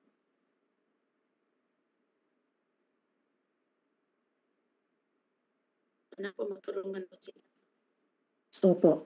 Yun po ang sinusubukang gawin ng komite, lahat naming mga miyembro at yung at aming mga colleagues sa executive at maraming salamat higit sa lahat sa inyo na ah, nagbabahagi ng inyong kwentong buhay para nga matulungan sila. Meron din ba kayong nais sabihin sa ngalan nga nung iba pa nating mga kababayan na hanggang ngayon ay nasa Syria pa, yung mga kabaro natin at yung mga bata din. Meron po akong nakasama doon sa kulungan. Pakilakasan po ng konti or baka la- lapit po kayo ng konti sa mic para marinig namin kayo. Eh, meron po akong doon sa bilangguan ng babae sa Syria. Isa po siyang Muslim. Baka po daw siya nagtrabaho doon. At din po yung edad niya. So kung naririnig ko po kayong malinaw, may isa pa tayong kababayang, isa pang kabaro na Muslim naman na tulad ni Miss Marites noon ay nasa kulungan. Alright, so pagtulungan po nating makuha ang mga detalye at sa tulong ulit malamang ni na Sharjay da Vida sa ating embassy doon ay makuha po natin ang kanyang kalayaan at yung hustisya din po sa kanya tulad po kay Miss Marites.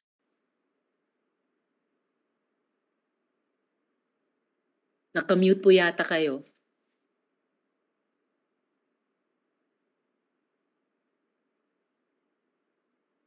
Sige po. Habang habang inaayos niyo po yung audio niyo, tanungin, yes po, naririnig ko na kayo. Opo, ma'am. Eh, sana po ma ma maagaran po siya tulungan po. Kasi naawa po ako sa kanya. Naawa talaga ako sa kanya. Kasi tagal, seven years po siya nakulong doon. Tapos Oh. natutal siya ng 15 years. Naawa talaga ako sa kanya, ma'am. Alright, maraming salamat po. Napakahabang taon, ano po, pitong, ta- pitong taon. Kung yung dalawang taon nga ni, o, ni Miss Marites, napakahaba na, lalo na po ito, triple pa. Sige po, pagtulungan po nating matulungan siya. At tanungin ko ngayon yung ah, unang tao, kabaro din natin na malamang ay makatulong din ulit sa ganitong sitwasyon. Sharjay da Ferdida, salamat ay kasama pa, pa, pa po namin kayo ngayon kahit tanghali na. Any comment po ma'am dun sa mga testimonya ni na ah, Ms. Marites at Ms. Alice? Um, Nakamute Assalamualaikum at Apo, Ramadan Karim po sa mga kapatid nating Muslim. Maraming salamat po Madam Chair at uh, Your Honors for this opportunity. So una sa lahat, pagbati kay Marites, nice to see you. At kay alias Alice, masaya naman ako na nandito kayo.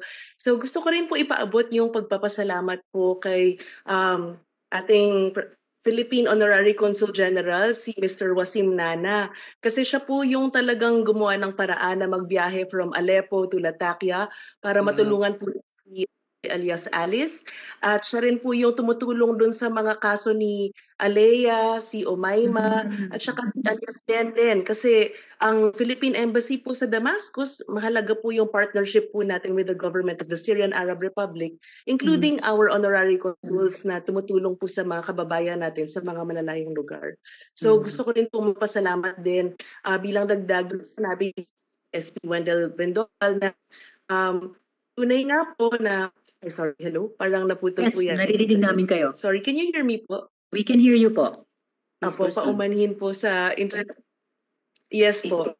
Ah, okay Thank po. you very much po. So, uh, totoo po na tulong po ng Interagency Council Against Trafficking or IACAT, napakalaking bagay po yun para ma-prepare po natin yung mga complaint affidavits tsaka evidence packets sa embassy kasi ah, malaking bagay po na nandito yung mga POEA lawyers. So nakita ko po nandyan din yung director ng prosecution division ng POEA, pati po yung mga abogado from Blast Opera Policy Center at saka yung mga partners natin from the Department of Justice. In fact, noong April 23 po, kasama po si Chief Timmy ng Bureau of Immigration TCEU nung nag-interview po tayo kay alias Alice para mapalalim po yung investigasyon natin. So, posible po na ah, lakasan natin yung, yung prosecution pillar natin ng anti-trafficking strategy natin sa pamamagitan din po ng pagkilala na for children, the prevention includes not allowing them to enter Syria in the first place. So, ah, kadalasan po nakikita natin na um, mahirap talagang bakahin yung ganitong klaseng pagsubok para masugpo yung ganitong krimen. Pero mas mahalaga na we look at it through a whole of government approach na ano man yung mga initiatives na gagawin natin, ano man yung mga reforms natin, should really be recognizing yung factors that increase vulnerability. Ano ba yung intersectionality ng nararanasan nila na sila po ba ay galing sa indigenous tribes? So, based sa study natin po sa mga nasa shelter, 16 po sila ang galing sa mga indigenous peoples groups from Mindanao. Tapos, uh, marami rin po sa kanila, solo parents, uh, mga may mga problema sa pag-iisip. So, the 24 of them experience trauma and they need psychological intervention. At marami rin po sa kanila ang mababa ang pinag-aralan. So, yung mga factors na yun po talaga, if you look at it from the gender equality, Dis- disability, and social inclusion or GEDC na mainstreaming na perspective ay Mm. dapat na matutukan din po natin maliban po sa Philippine Embassy. Doon pa lang po sa mga communities kung saan nanggagaling and doon din sila ma-reintegrate after po ng kanilang repatriation. So sa bahagi po ng Philippine Embassy, salamat sa DFA UMWA kasi UMWA po talaga yung tumulong sa atin na mag-approve ng funding para mailabas si Marites Pantonian. Kung maalala niyo po yung last hearing, yung kinumit natin na $5,000 para sa kanyang court penalties, yung danyos di- dahil sa krimen. And para po matulungan yung nasa Adra Prison, so I'm happy to share na noong May 3, 2021, yung update po natin, ay meron pong presidential pardon. May bagong legislative decree na inissue ang presidente ng Syrian Arab Republic at makakatulong po ito para sa mga kababayan natin na may mga kasong kriminal na yun ang hadlang sa pag-issue ng kanilang exit visa. So kasama po natin ang Syrian government, ang mga abogado natin na kinuha na tumulong sa atin na maituloy yung mga human trafficking cases po sa Pilipinas at sa Syria man, ah, kapartner din po natin yung Ministry of Justice ng Syria sa ganitong ah, initiatives natin. And of course, ah, at the end of the day, we will defer to our capital, di ba? Kung ano po yung instructions ng Department of Foreign Affairs to hold accountable kung sino man po yung mga dapat na managot doon sa nak- nakaraan, eh, we of course have respect for the rule of law and strengthening of the administrative justice system ng Department of Foreign Affairs. At lahat ng mga partner agencies natin na kasama ngayon at at patuloy na tumutulong sa atin para talagang ah, mapigilan yung ganitong klaseng krimen na lumaganap, matulungan ng mga kabataan natin at syempre mabigyan sila ng pagkakataon ng bagong buhay pag-uwi sa Pilipinas. Kaya Mm. thank you kay ah, alias Alice. So I hope to see you. Sana po magtuloy-tuloy po yung inyong ah, programang pangkabuhayan at si ah, Marites, salamat din. Um, wag po ninyong ah, kalimutan yung mga karanasan ninyo sa Syria at sana po ay pati sa pag-uwi ng mga nasa Adra prison hanggang ngayon at ng iba nating mga kababayan sa shelter ay matulungan din po natin silang magkaroon ng tunay na hustisya at pagkakataon na magbagong buhay pagbalik po nila sa Pilipinas. Narito po kami sa Philippine Embassy at sa Department of Foreign Affairs na handang tumulong po sa lahat ng mga gustong humingi ng tulong sa abot po ng aming makakayanan. So, Maraming salamat. Maraming salamat, Charge de Affairs Vida. Ah, bago tayo tumuloy sa mga tanong tungkol sa mga bata na binanggit nyo na nga, just ah, a, a quick clarification no, for the record. Pinilit nga ba ng DFA si Elias Alice na sabihin na ayaw na niya magpa-repatriate? Just for the record, Charge de Affairs. Opo, uh, for the record, based on the letter po na nakuha ko na to, I think there is a miscommunication based on the recruitment agency. Kasi po, kung naalala po ni alias Alice, di ba, matagal na rin po niya nakita na yung agency po niya ay um, hindi nagsasabi ng katotohanan kaya we had to ask for the help of our superman si Consul General Wasim Nana. Dahil Mm. kung nahirapan tayong mag 'di ba nahirapan tayong makipag-negotiate sa recruitment agency kaya kailangan tinaas na natin sa ah, higher level officials. Nakailang sulat din tayo sa Ministry of Foreign Affairs para iwasto yung mali na sinasabi ng recruitment agency na kesyo si alias Alice daw ay masaya sa kanyang employer na mataas daw ang sahod niya, mabuti daw ang kalagayan niya. So, ah yun po ay nung nag-assume na po ako, sumulat po tayo sa ministry para itama, sabihin na hindi po totoo yung mga laman ng sulat na yon na sinabi ng ah, recruitment agency. Kaya sa part ng DFA, UMWA, nakita rin po nila yung efforts din po ng embassy at yung efforts din po ni Consul General Nana para matulungan po si alias Alice kahit na kasinungalingan yung sinabi ng recruitment agency po. Okay, salamat, Charge Affairs. Well, um, alam ko po mula kay Ms. Alice na kumpleto yung mga dokumento niya. So, ah, pag-aaralan din po namin kung may miscommunication nga at kung mayroon, ah, paano ito malilinawan kung may miscommunication nga. Salamat, Charge de Affairs. And lastly, bago nga tayo magpatuloy sa mga tanong tungkol sa trafficking ng mga bata, sana po matulungan din natin yung isa pang kababayan, kabaro natin na nasa bilangguan sa Syria ah, tulad ng ah, binanggit ni ah, Miss Alice kanina, tulad ng nagawang pagtulong ah, ng embassy kay Miss Marites.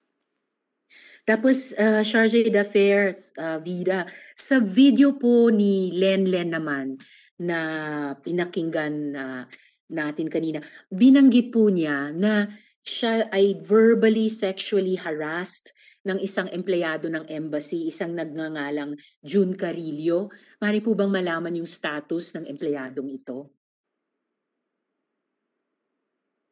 Reg- Regarding po Mr. Carillo, so um, from my knowledge po sa embassy, he's part of the recallees na in order po ni Secretary of Foreign Affairs. Kung maalala niyo po na nag-issue po siya ng recall order para sa kanila.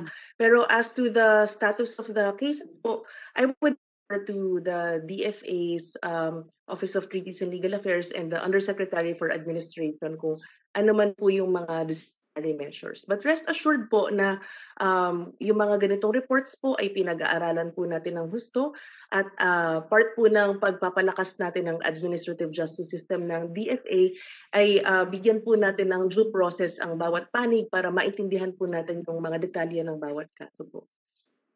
Salamat, Charge Affairs. Yes, I will also quickly ask that of DFA at sana po um, uh, tinitake cognizance of ng ating embahada sa Damascus at pati ng buong DFA yung specific complaints about verbal sexual harassment. Dahil, or, or could, could you tell the committee, Charge d'Affaires, if yung dahilan or isang dahilan ng pag-recall kay Mr. Carillo ay yung ganitong uh, pagtatrato niya kay Elias Lenlen? Mm-mm. Um, as to the reason for the recall, I believe it's the Secretary of Foreign Affairs who can best answer that. But to address these measures, we instituted a child protection policy po sa Philippine Embassy. And we're also very serious about our sexual anti-sexual harassment program. So meron po tayong CODI within the Department of Foreign Affairs.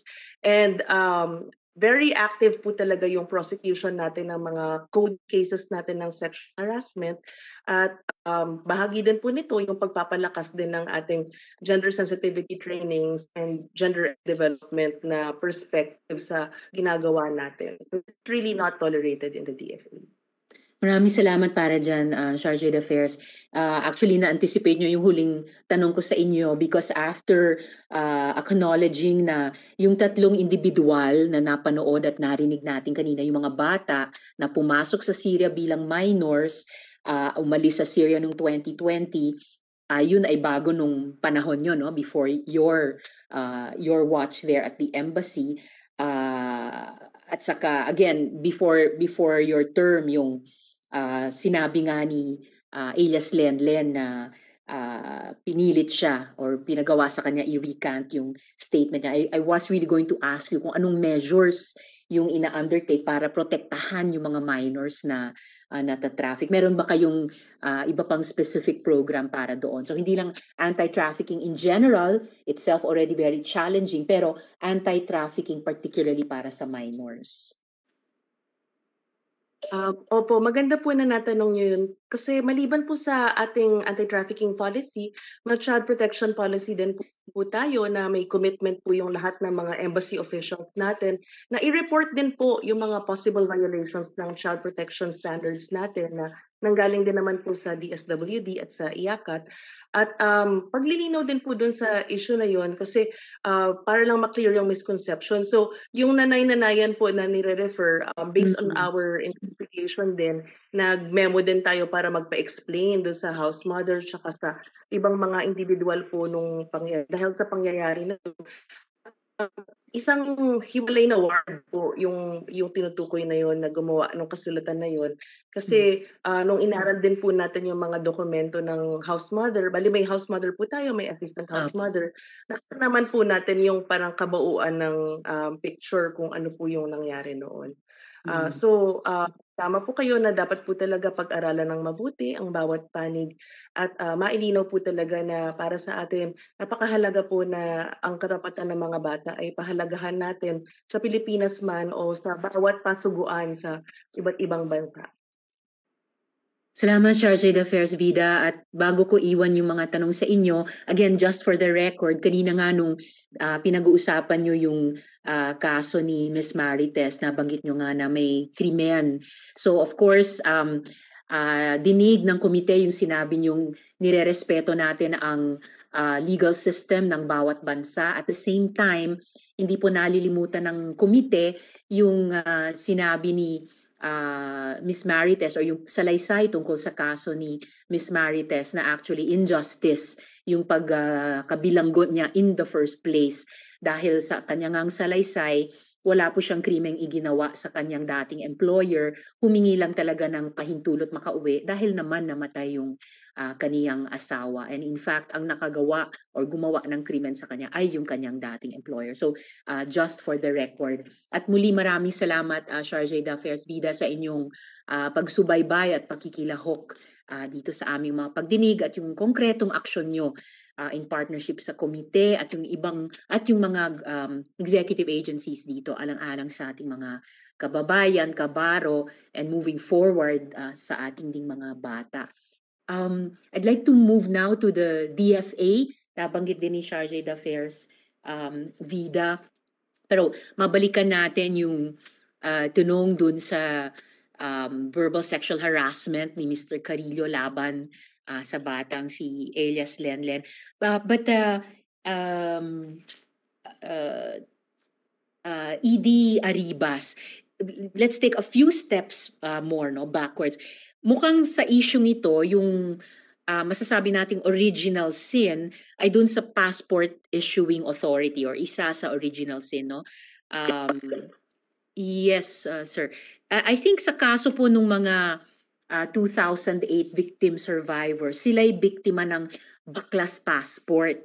So sa research po namin, itong baklas passport uh, scheme, karaniwan siya no sa trafficking operations.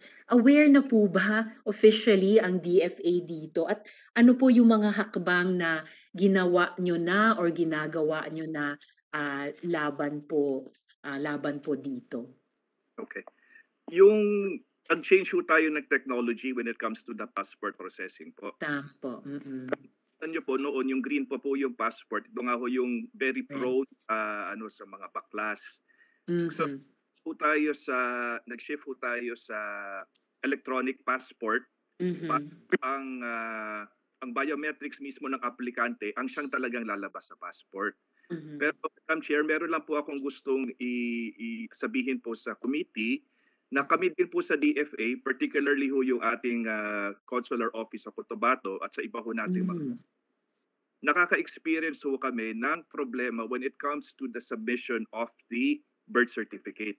Mhm. Kung tutuusin niyo po, ang trafficking po nagsisimula ho talaga, hindi naman po yan nagsisimula lang yan sa immigration. Hindi lang naman din nagsisimula yan sa passport. Nagsisimula ho yan doon sa mga munisipyo kung saan ho nauuso yung late registration of birth. Mhm. May mga marami hong pagkakataon na yung mga ginagawa ho nila kahit na assuming ho, assuming na yung pinanganak ng bata nagkaroon man ng birth certificate, ang Mm. ginag- ba- base ho ito sa mga reports na natatanggap namin, ang ginagawa ho ng mga illegal recruiters, pumupunta ho sila sa munisipyo at magpapa-late registration ng kanilang Sila gusto- na. Opo. Mm. So ang nangyayari po, Idi Arriba? Okay, you're back. Sige po. Opo, doon ho nila nilalagay yung ibang pangalan, doon ho nila nilalagay, doon ho nila pinapalitan yung birth date. Mhm. Kapag ganun na ho ang lumalabas at na, inaccept ho yan ng municipal ah, civil registry, ayun ho ay papasok na sa Philippine Statistics Authority na records. Mhm. Pag yun po ay na-produce na with the security paper, ayun na po ang magiging basihan po ng DFA consular offices na mag-issue po ng passport. Mhm. So, siguro ma-recommend po sa committee na ito para ho ma-preventative yung child trafficking. Siguro ho, engage ho natin yung mga local municipalities po natin and maybe with DILG para ho ma-empower natin yung ating mga munisipyo, mga local municipalities and cities para ho masugpo nila yung mga nagpapa-late registration po kasi base ho sa aming experience, ito ang nang, kumbaga ito na ho yung panimula ng kanilang ah, illegal recruitment program, Madam Chair. Salamat, Idi Arribas. No? Ah, nagsimula na kayong magbigay ng mga mungkahi. I-test po natin yung sitwasyong ito dito sa konkretong kaso ni uh, Elias Lenlen. So I understand na yung mga unang biometric passports ni-release po ninyo 2009. So si Lenlen ay biometric passport na. At ayon sa testimonya po niya, pumunta siya sa binanggit nyo rin, DFA Cotabato. So maaari ko po ba kayong tanungin uh, ED Aribas, paano nangyayari na ito na ba yon? Uh, dahil yung mga illegal recruiters na mismo nagle-late. Kasi nangyayari na yung pangalan sa birth certificate, yun din sa passport, pero pag na-generate, uh, hindi, pag na-generate yung passport, iba nang uh, pangalan uh, uh, ang nakalagay. And para lang ano no, um, matulungan niyo po kami maintindihan yung sitwasyon din ng DFA Cotabato, in particular ED Aribas. Actually po nababalitaan nga namin na uh, may mga uh, tinututukan ng barel yung ilang DFA para ilabas yung passports. Tinututukan po ng mga recruiters.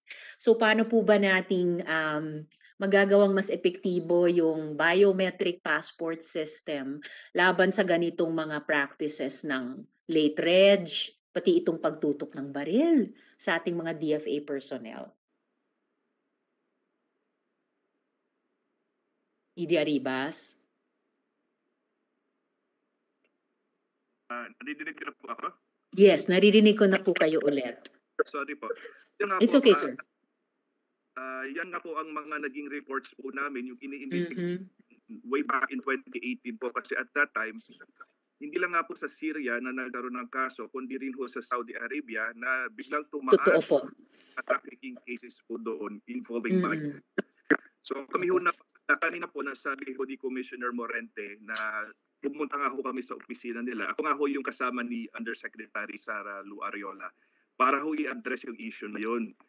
Um, kung kung kami po ang tatanungin kung ano ho ang mga mahakbang na pwede namin gawin, of course, Mm. plans na rin din po uh, on the part of our passport processors po to make sure na yung mga sinasabit sa kanila na mga documents ay valid.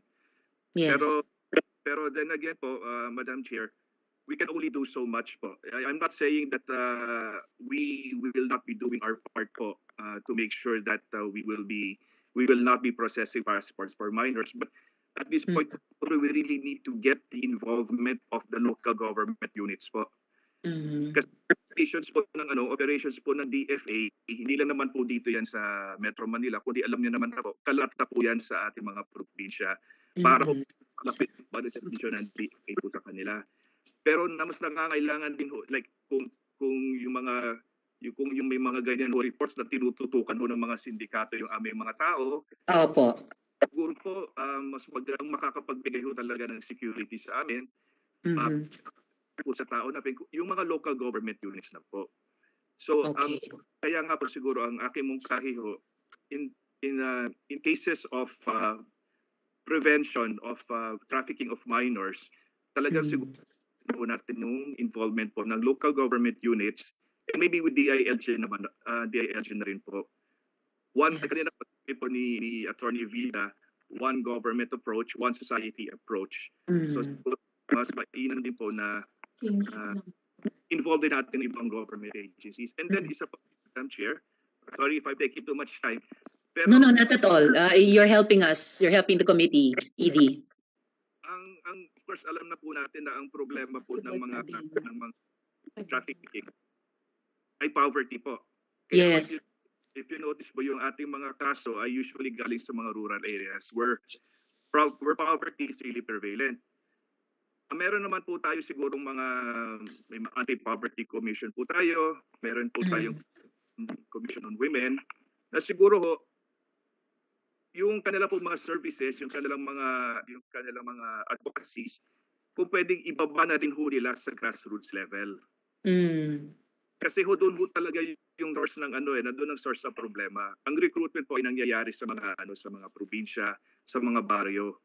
So hindi lang ho hindi lang ho ito problema ng national gov ng ng national government agencies, problema rin ho ito dapat ng mga local government agencies, mga local government units, Madam Chair.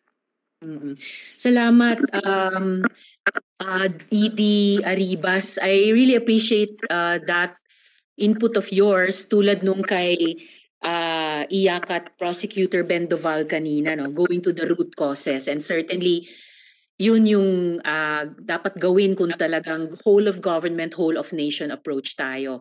Very, very well noted always. And at the same time, di ba, yung kasabihan ng isang dating Pangulo natin na he or she who has less in life should have more in law. So kahit yung mga immediate na uh, social protections natin, law enforcement natin, delivery of justice natin, sa mga uh, uh, sinasamantalahan dahil nga kung mahirap or kung late reg ng birth certificate or sinasamantala yung uh, cultural religious practice na kanilang karapatan para sila ay biktimahin. So we we do those strategic and also those urgent and immediate interventions uh, ng sabay. One follow-up question, Edie Aribas. In fact po, banggit ng mga NGOs on the ground na sila ring uh, nagmo-monitor na yun na nga um, may mga natatraffic na babae at bata hindi lang sa Syria pati nga sa uh, Saudi Arabia. Uh, banggit po nila na may pila sa DFA uh, including DFA Cotabato na mukhang bata talaga. So posible pa rin po ba na may DFA corrupt officials on the ground dun sa mga area na, ayan, nakapila yung mga bata bound for travel kuno but actually trafficking abroad. Posible po ba yon? Idi Aribas, nakamute po kayo. Yes, sir. Sorry po ulit. It's okay. Hindi ko po sasabihin na imposible. Okay. So, posible. Kung meron hong, kung meron hong mga ganyang aligasyon ay talagang uh, siniseryoso po namin na talagang iimbestiga, iimbestigahin po namin. Nakikiusap po siguro sa mga members po ng ating civil society kung meron po silang nare-receive po na ganyang report, sabihin po sa amin sa DFA. At talaga siseryosohin ho namin yan. Kasi ayaw naman ho, napaka-ironic naman ho, tinutulungan ho natin yung ating mga kababayan, lalo na yung mga yung mga natatraffic tapos sa loob po ng hanay namin meron pong mga ganyan. So, exactly. kita po sa amin na kung mayroong mga da- ganyan dapat problema, uh, may mga problema na dapat uh, tugunan, sabihin lang po. At uh, rest assured, action naman po namin yan. Salamat, uh, Edie Aribas. I take that as a commitment na iimbestigahan nyo na nga kung may mga uh, reklamo na formal, opisyal na ibibigay sa inyo. Salamat po uh, uh, para doon.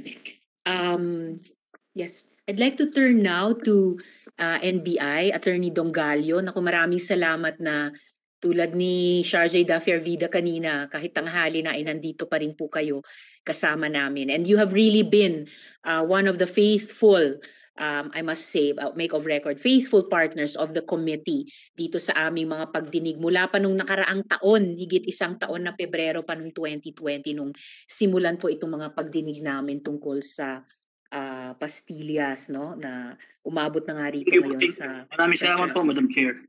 Yes, salamat sa inyo, attorney. So attorney uh, Dogalio, without preempting anything, uh, pwede po ba kami makatanggap ng update uh, sa progress ng inyong investigasyon so far? Yes, ma'am. Uh, una po, uh, magandang tanghali po, Madam Chair, at kay Honorable Senator uh, Joel Senator Joel Villanueva at kay Madam Senator Amy Marcos at sa other resource speakers ano uh, sa ganang sa, sa ganang pong sa NBI sa amin kami po ay tuloy-tuloy na nag-iimbestiga. Uh, nakipag-ugnayan na po kami sa office ng ating uh, kagalang-galang na Commissioner Morente, Commissioner Morente ng Immigration at sa ibang opisyal ng Immigration para makakuha po tayo ng mga documents ano uh, kailangan para mapag mapalakas natin yung ipag-file natin mga kaso. Actually po ma'am, uh, napakalaking tulong yung pagbubunyag, matapang na pagbubunyag na ginawa nitong una nating yung na-rescue ano. Uh, nakuha na po natin ang statements yun. Uh, nakuha na po natin yung mga names ng immigration officers involved ng paalis sa daw sa immigration. At amin pong kino-cross-check ano, kung sino kasi po, uh, narinig naman po natin yung mga uh, paliwanag ng ating whistleblower, specifically po si Allison, na karamihan po sa mga frontliners, sabi nila na pre-pressure din ng mga superior nila. So atin pong ginagawa ngayon, nag-cross-check po tayo kung during the time na nag-stamp sila nung, nung, nung mga travel documents, sino yung supervisor nila, sino yung kasama nila sa sa counter para ma-check din natin kung ito po ba ay ito ba ang nag-pressure sa kanila o nag-utos sa kanila na na tatakan yan kahit labag sa loob nila no? So gusto gusto po nating maano yan matiyak. Kasi ang, ang meron po kami nasabi na uh, during the past investigation yung first at second batch pastillas Apo. na sinasabi nila na hindi po nila alam na may problema pala ito. Ang sinasabi inutusan sila ng supervisor nila. Sinasabi po nila so we are very careful na uh, alamin kung sino ba yung nasa behind nito mga batang to. Kasi po ma'am, ah, gusto ko po gusto po namin kayo inform sa NBI na itong mga karamihan sa nakakasuhan natin yung mga mga bata, anong mga bagong immigration officers. Yung foot soldiers. inyo naman po. Yung foot soldiers nga na Attorney ni yung mga foot soldiers na sinasabi. Yes, ma'am. So, ino-cross-check po namin yan at kami naman po ay uh, in-encourage namin itong mga nabanggit ng mga pangalan na nagtatak nga na you come forward and inform the Yes. NBI, inform us kung sino ba talaga nag-utos. Huwag po kayo matakot. Kasi po, sa totoo lang, kayo ang makakasuhan at tandaan ninyo human trafficking itong kinakaharap ninyong kaso. Wala Actually, attorney, tumutulong. At gi- nagjo-join ang komite sa panawagan ng NBI na mag-come forward yung gusto pang tumulong sa investigasyon at para hindi na ma mahuli pa nung 20-year period of proscription para sa trafficking, napakaseryosong krimen. Tama po yun, ma'am. At kami po ay nagpapasalamat kay Commissioner Morente sa kanilang ah, pakikipag-ugnayan at pagtulong sa amin na ibigay yung mga lahat ng detalye, dokumento. At nagpapasalamat po kami. So, Attorney, ipa-flash ko po ngayon yung mga pangalan na iyon, no? Sila po, itong mga pangalan yung na-identify nung nakaraang hearing sa mga Viber screenshot ni na Alex at sa iba pang ebidensya. At ah, pakitukoy po sa komite kung ano na po ang status ng investigation sa kanila. Ito po.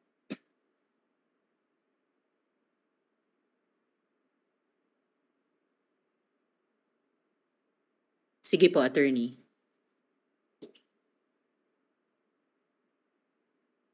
Di ko na po isa-isahin ano. Ah, yung iba po diyan yung gusto niyo po ba bang isa-isahin ko o banggitin ko na lang in, in passing ano?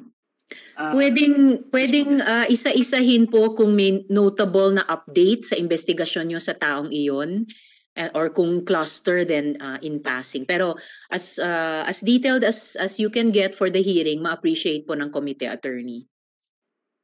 Yes, yes, Your Honor. Ah, ito, may, may mga nakikita po ako dito, kagaya yung mga familiar ng names na na-file na po natin nung Yes. case during the first and second batch nung pastillas, ma'am, ano? Opo. Ah, they are, I heard suspended na po sila. Meron naman pong nag-crop up ng mga bagong names dito ng po actually natin yung nabanggit isa actually ilan po rito yung nagtatak nung first week ah, ng travel documents nung fir- first witness natin na na-rescue. So, Opo. yun nga po, ma'am. Oh, yun, yun ang update, ma'am. So, pinapalakas na po natin yung mga ebidensya at sooner or later makakapag-file na po tayo ng case, ma'am. Alright, attorney. So kasi ang uh, flash po naming screenshot or yung matrix po ay yung mga pangalan sa kaliwa ay galing sa Viber screenshot at yung mga pangalan, mas kumpletong pangalan sa kanan ay galing sa listahan na kinasuhan na nga ng inyong bureau. Tama po, ma'am. Ng NBI, yes, ma'am. Tama ng po. NBI. That's right, attorney. So ano pa po yung mga bottlenecks sa inyong investigasyon? Halimbawa, ah, kung hindi pa man ah, napa napa-absuelto na sa investigasyon nyo, bakit yung sa kanang listahan may mga blanco pa ah, at, at, at ah, sa update sa kanila? Since nandito rin, na rin naman po attorney lahat ng mga relevant agencies dito po sa ating pagdinig, baka kung may mga bottlenecks ay dito nyo po i-share para ma-facilitate na rin yung pag loosen up ng mga bottlenecks na iyon, ma- ma-facilitate yung coordination sa kailangan makapag-coordinate pa kayo sa kanila. Thank you po, Madam Chair. No? Ang mga challenges po natin dito sa during our conduct our investigations, ano, Mm. Ah, minsan po uh, we're request especially during this time na may pandemic po tayo. So nahirapan po kami sa pag-collate ng mga pieces of evidence kagaya ng mga documents, travel documents. Paminsan po um, yun ang bat, yun ang challenges natin. Naintindihan naman po natin yung mga ahensya ng gobyerno kasi for the past few months talaga naka-skeletal po. Ah, minsan talagang mahirap. O, may mga nagpa-positive sa iba-ibang offices COVID infection. Pero uh, during the conduct of this hearing, ma'am, napansin ko, especially itong hearing po natin, ano, uh, nagiging mas cooperative na po yung mga ahensya at kung meron namang mga personnel na na- nakakapasok, uh, they're more cooperative now na tuloy-tuloy po yung conduct ninyo ng investigasyon sa sina- Senado. So, Mabuti po, naman po, masasabi ko na masasabi ko po ma'am na lahat na, naman po ng government offices or agency na atin pong sinusulatan, mabilis naman po ang turnover ng mga documents so far ngayon. Kaya mas mabilis po. po tayo mag-imbestiga. Mabuti po kasi tama naman kung kung magkaroon man ng infection sa isang opisina, hindi naman lahat, no? Kaya nga may skeletal workforce pa. At kung so para sa collation, kung delivery ng mga kinakailangang documents ng NBI, eh meron namang mga delivery services, ano po? At ah, kahit may pandemya kasi, namumroblema pa rin yung ating mga kababayan na traffic. So sobrang essential yung timely action lalo na ng NBI. So inaasahan po talaga natin yung timely coordination sa inyo kahit pa pandemya nung iba pang mga ahensya. So salamat po para dyan, attorney. And then particular follow-up po, no? Meron pong minention si Omayma kanina po sa kanyang salaysay. Sabi ni Omayma na bahay sa Tagig kung saan nandun yung mga babae, pati batang babae, bago sila ipadala sa ibang bansa. Sabi nga niya marami dun sa kanila ay minors. Nare-read niyo po ba yung mga ganito? At nag exist pa po ba yung ganitong mga bahay? May, may sinabi kasi siyang ni-raid sila ng pulis. So hindi ko alam kung PNP ba yon or NBI yon. No? Pero nare-raid niyo po kayo at meron pa rin bang ganyan mga kumbaga holding areas? Ah, tama po yan, ma'am. Ano? Na- Napagandang tanong po. Ah, for the past few years, marami na po tayong na-raid na mga bahay. Yun nga, sa place na nabanggit ninyo, na may mga tinatagong mga minor de edad for purposely to be trafficked. May mga na-raids, may mga raids po tayong conducted before, yung amin pong ah, Anti-Human Trafficking Division under kay Attorney Janet Francisco. Yes. Napakasipag po nilang raid. Kami, na-assign din po ako doon. Meron po tayong mga raids. Pero. Napan, napansin ko po ma'am na pag na-raid, magpapalamig lang, then after some time, nandyan na naman, ano? So, kami po ay hindi titigil na i-monitor ito. Actually, ito nga pong nabanggit ninyo, ngayon na na-mention yan, meron na po ako mga mga operatiba na pinacheck ko kagad yung mga ah, may mga asset naman tayo na talagang itinuturo yan ano. So tuloy-tuloy po tayo sa NBI sa pag raid sa direktiba po ng ating officer in charge. Ang human trafficking ay tinuturing nating isa sa dapat tutukan ano? Kasi talagang malaki ang damage dito sa ating mga kababaihan at kabataan.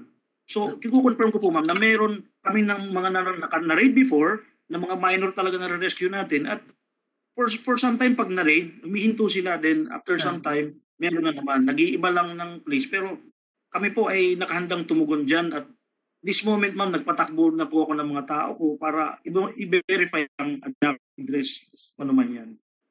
Maraming salamat, ah, attorney. Opo, ah, actually nitong nakaraang taon, may mga iba pa tayong halimbawang naririnig na marireid, magpapalamig lang, and then magsisimula ulit. So siguro hanggat hindi natugunan talaga yung mga ugat ng problema at hindi talaga nasingil yung accountability at nabigyan ng hustisya yung victim survivors, ganun yung magiging problema natin. Pero kaya inaasahan po ng komite, ng mga Pilipino, yung patuloy na pagkilos ng mga ah, bureau katulad ng NBI. So maraming salamat po para doon. Uh, sir, salamat sir. Turning ngayon sa DSWD, uh, kay Miss uh, Gabriela Fernandez. Madam Chair. Yes, ah yes, Madam- uh, Sen Joel, kayo ba yan?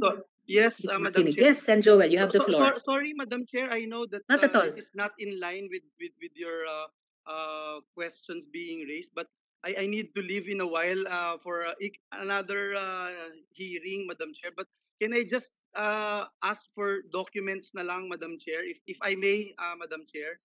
Please do, Sen Joel. You have the Sige. floor. Madam Chair, tatlo lang po kasi uh, I remember last hearing, uh, si uh, Yusek Ariola stated that they uh, stopped the practice of buying out contracts of household service workers and instead uh, filed uh, court ca- court cases against uh, employers. Uh, I, I just wanted to to to ask sana uh, for, for for documents na lang po yung number of pending cases filed against Syrian and UAE employers since 2019, including their status. That's uh, my first request. And then my second request would be uh, um, I was looking at the and I was with with Ma'am Tuts Ople and, and some other uh, uh, OFW uh, groups, organizations with the importance of uh, uh, promoting ethical recruitment. And I just recall dito po sa POEA, sa 2016 POEA rules, Part 9, Section 235, it provides that the administration shall continue to recognize um, exemplary performance of licensed recruitment agencies and develop an incentive scheme to reward those that practice ethical recruitment standards, including the development of a white list of agencies. Sana po makahingi din tayo ng uh, uh, kopya o listahan ng efforts ng POEA in promoting ethical standards and the number of agencies incentivized and whitelisted for maintaining uh, those standards. Hingi lang din po ako. And last but not the least, Madam Chair, and I'm, again, I'm sorry and I apologize that I have to leave in a while. Um, sa DOLE po, kasi I, I was looking at the uh, the data submitted to us by DOLE sa POLO yung Middle East po, nagkaroon ng spike in contract substitution. When you talk about contract substitution, no? in the years 2016 to 2019, 2016, 25, 27, 2017, 17, 2018, 247. Pagdating ng 2019, 706. So, pataas ng pataas. No? So, ang hingin ko lang po sana sa ating mga kasamahan sa DOLE, yung status of the 706 contract substitution cases in 2019. Uh, kasama din po ba dyan yung sa UAE na binabanggit na nagpunta sa Syria, etc. As well as the number of recruitment agencies penalized with regard to these cases. So yun lang Madam Chair. Again, maraming salamat and uh, mabuhay po kayo. Mabuhay San Joel at maraming salamat. So, uh, dear colleagues, please take note. The committee requests those documents, yung documents ng uh, number of cases at saka status, cases filed in relation to uh, trafficking of persons to Syria and other identified countries.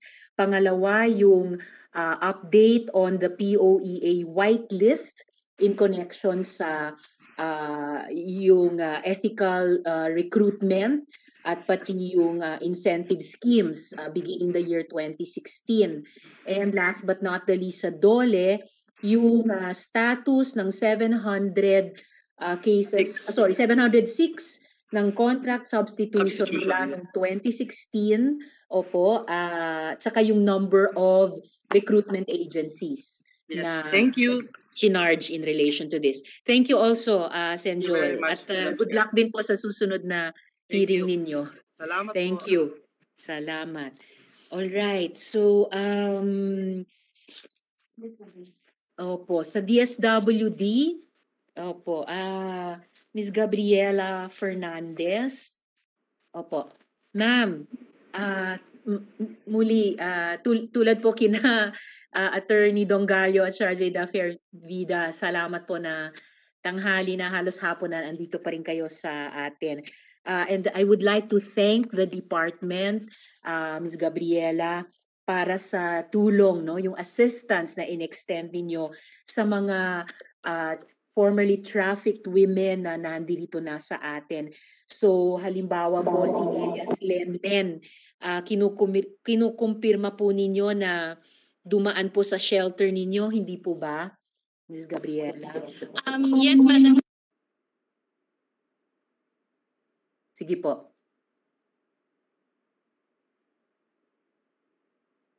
Hello, Madam Chair. Good afternoon. With me today is Director Naviamos.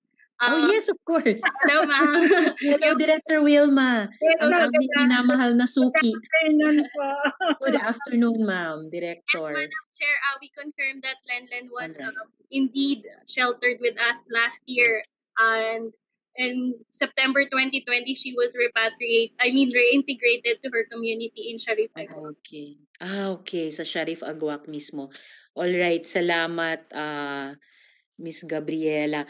Tapos, Miss Gabriela and the Director Wilma, bate po sa naging karanasan nyo sa mga minors na trafficking victims, would you say na phenomenon na ito? Ah, sa Syria lang po ba? Sa Saudi Arabia lang po ba? Gaya ng sinasabi ng aming mga partner NGOs o sa iba pang o maaring marami pang mga bansa itong trafficking of minors. Ah, Madam Chair, if I may.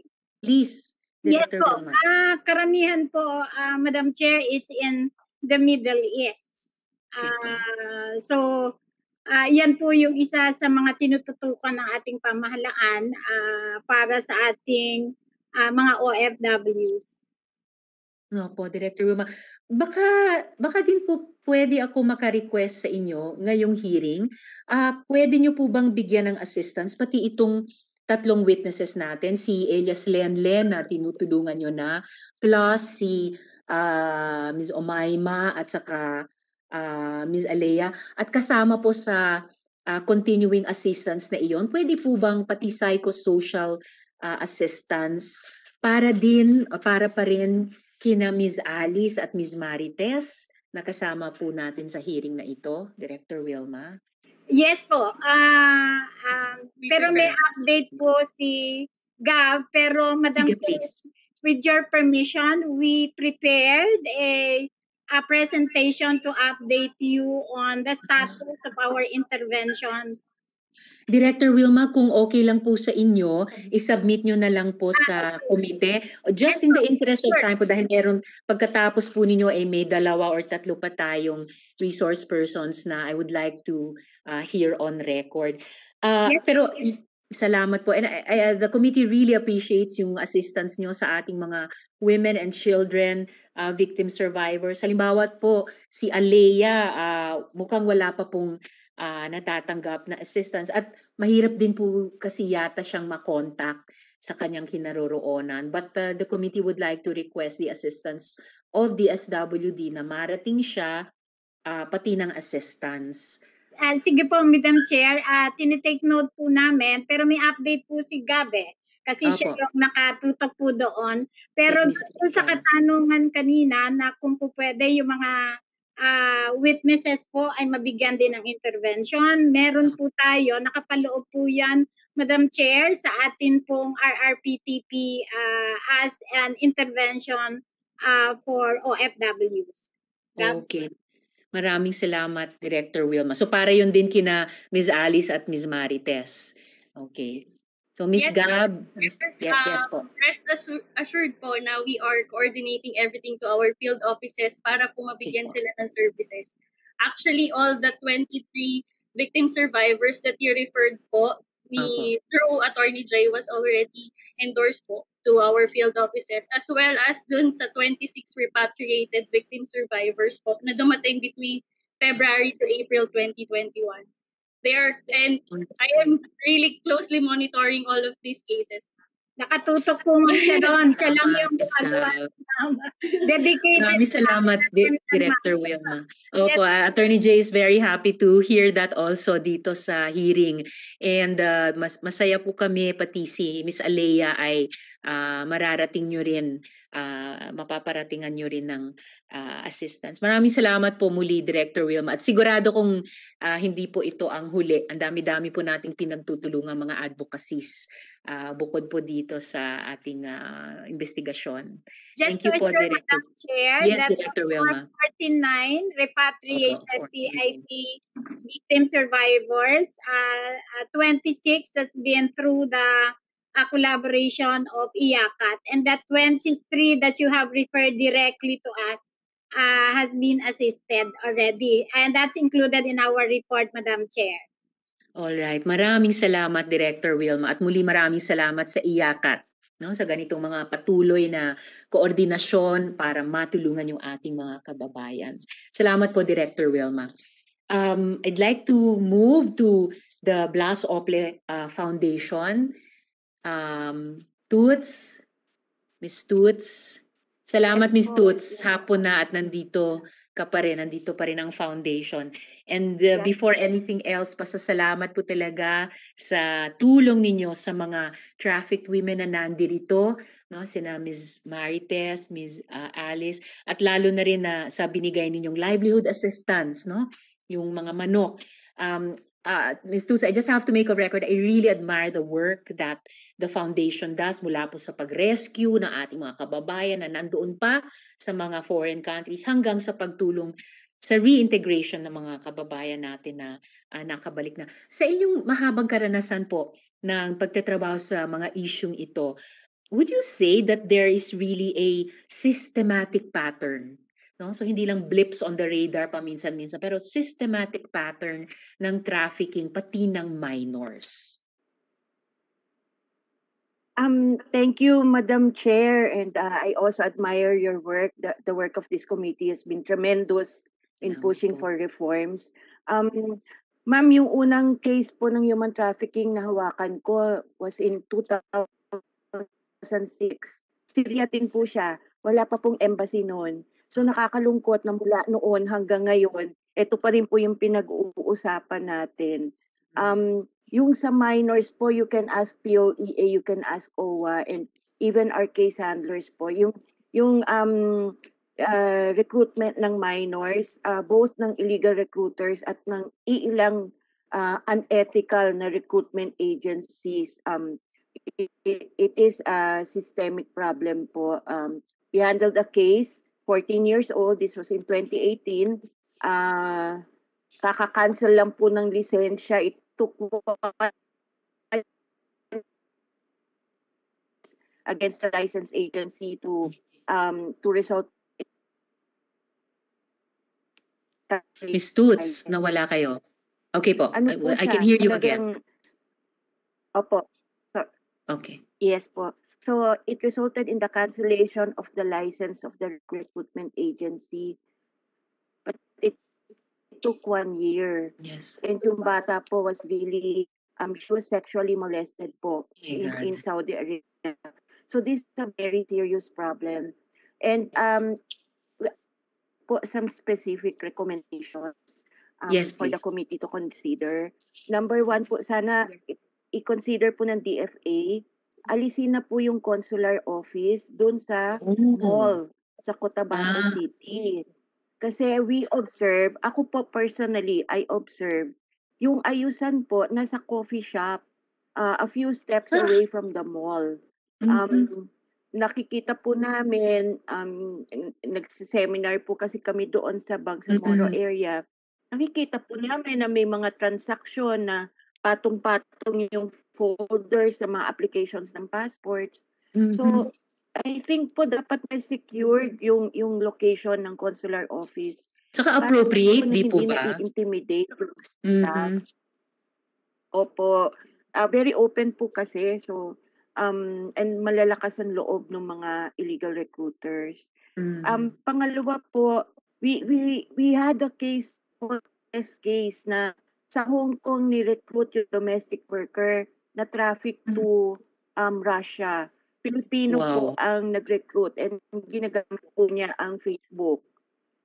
Wow. Um, case, the case was dismissed po sa fiscal um sa fiscal pa lang kasi um yung recruitment daw happened in another country. So we are Wow. hoping na we can amend the um yung ating anti-illegal recruitment laws Yes.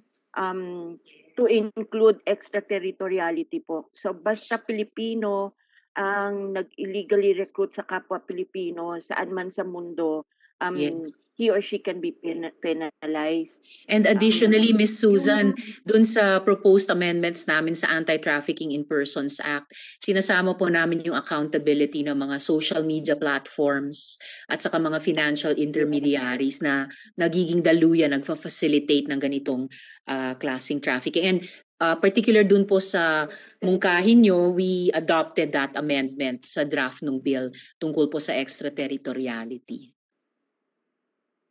Yes po. Kasi kung tutusin po ma'am, madaling madali kasing makonvict sa illegal recruitment kesa sa human trafficking. Kasi you have to prove the element of exploitation which Mhm. normally happens abroad na so mahirap mag-gather ng evidence. Um, Mm. Yung pangatlo po, ah, totoo po yung sinabi ni Sen Joel, yung Integrated Case Management System. This was developed by the OPLE Center for IACAT in partnership with the Global Fund to End Modern Slavery, um, which is an international organization. Unfortunately, ma'am, yung funding po namin, uh, the project will end this June. So we're hoping na ma masalo po through the budget para Mhm. matuloy pa rin po yung um, yung proyekto na yun. Um, I Alright, don't know if you can hear me po. Yes, I can hear you, Ms. Susan, uh, Ms. Stutz, and makikipagtrabaho ang komite uh, kay Sen Joel uh, pagdating po sa budget deliberations. Ms. Stutz, can you hear? Okay. Ms. Stutz, can you hear? May isa pa sana akong tanong sa inyo. Ms. Stutz? Hello. Hello, can you hear me? Okay. Isa pang tanong sana, Ms. Toots. Kasi yung kagawad po mismo sa barangay ni Ms. Omaima, sabi po nung kagawad na may mga recruiter na nagbabahay-bahay para mag-recruit. So, ano pa po kaya ang, 'di ba? Ano pa po yung kailangang intervention sa ground, no? Para matigil yung ganitong trafficking. Knock on your door nga po ngayon yung ano eh. Noon pa po yan, knock on your door Parang talaga. commercial. may passport ka ba? Oh, yes. wow. Yes, may passport ba anak mo? Ah, kung walang passport, kami na bahala dyan. Meron pong Wow. iba na nag-iiwan pa ng pera. O ito para sa pamilya nyo. Mhm. Ah, baga, list, parang binibili na yung yung anak ano na Yeah, and and parang um nahihirapan din po tayo kumuha ng cooperation dahil yung stigma marami po Mm. sa mga families ayaw na lang sabihin na na nangyari yun sa mga anak nila lalo na sa Mindanao ma'am so napakalaga Mm-mm. po yung role ng local governments Okay. na dapat po sana hang barangay level pag may nagre-recruit um Mm-mm. hindi pwedeng mag-recruit na na walang permiso ng ng municipality ano yung Okay. POEA lang po ang pwedeng mag magbigay ng ng recruitment um special recruitment authority tapos ma'am funding po sana for Yes. IACATS um hindi po nababanggit pero meron pong actually task force against the trafficking of OFWs ang Mm. IACAT Okay. Um, interagency din po siya, pero this is part of our project then and our partnership with IACAT. So, um, pag natapos na po yung project namin with the Global Fund to End Modern Slavery, wal, wala na po yatang funding. So, baka pwede pong ma-institutionalize na siya and mabigyan ng funding, pati po yung integrated case management system.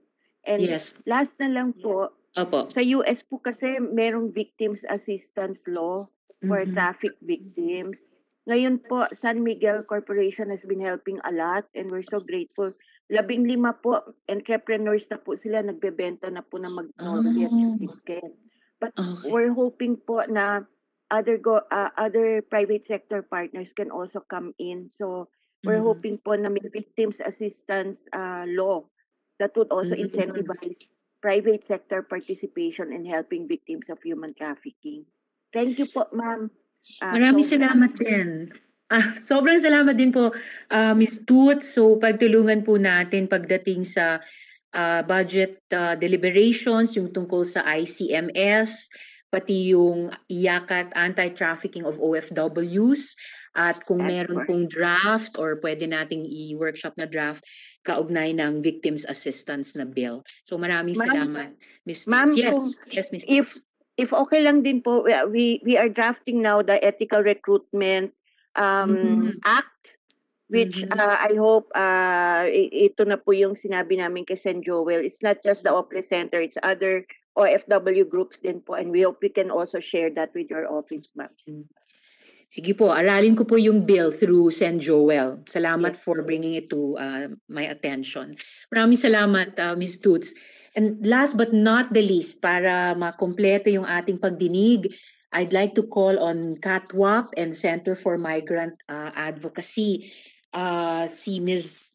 uh, Irene Abano sa CMA at saka um, uh, sorry and Miss Jean is nandito ba si Miss Jean Enriquez sa Catwap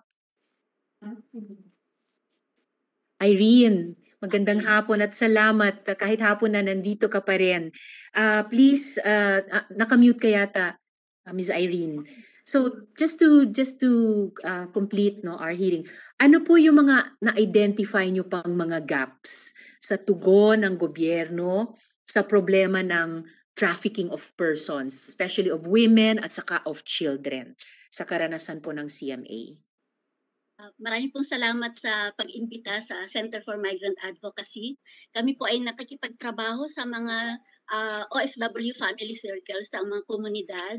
At unang-una, ang sinasabi po nila ay ta- uh, talamak talaga ngayon ang illegal recruiters and perhaps traffickers sa community level. Nagbabahay-bahay nga po, saka yung namimigay daw ng flyers, mga naka, nakamotor. No?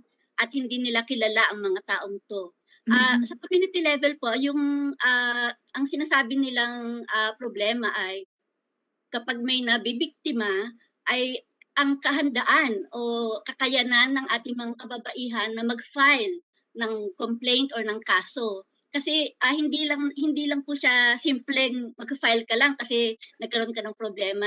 Marami pong aspeto 'yan. Paano yung kanilang pamilya?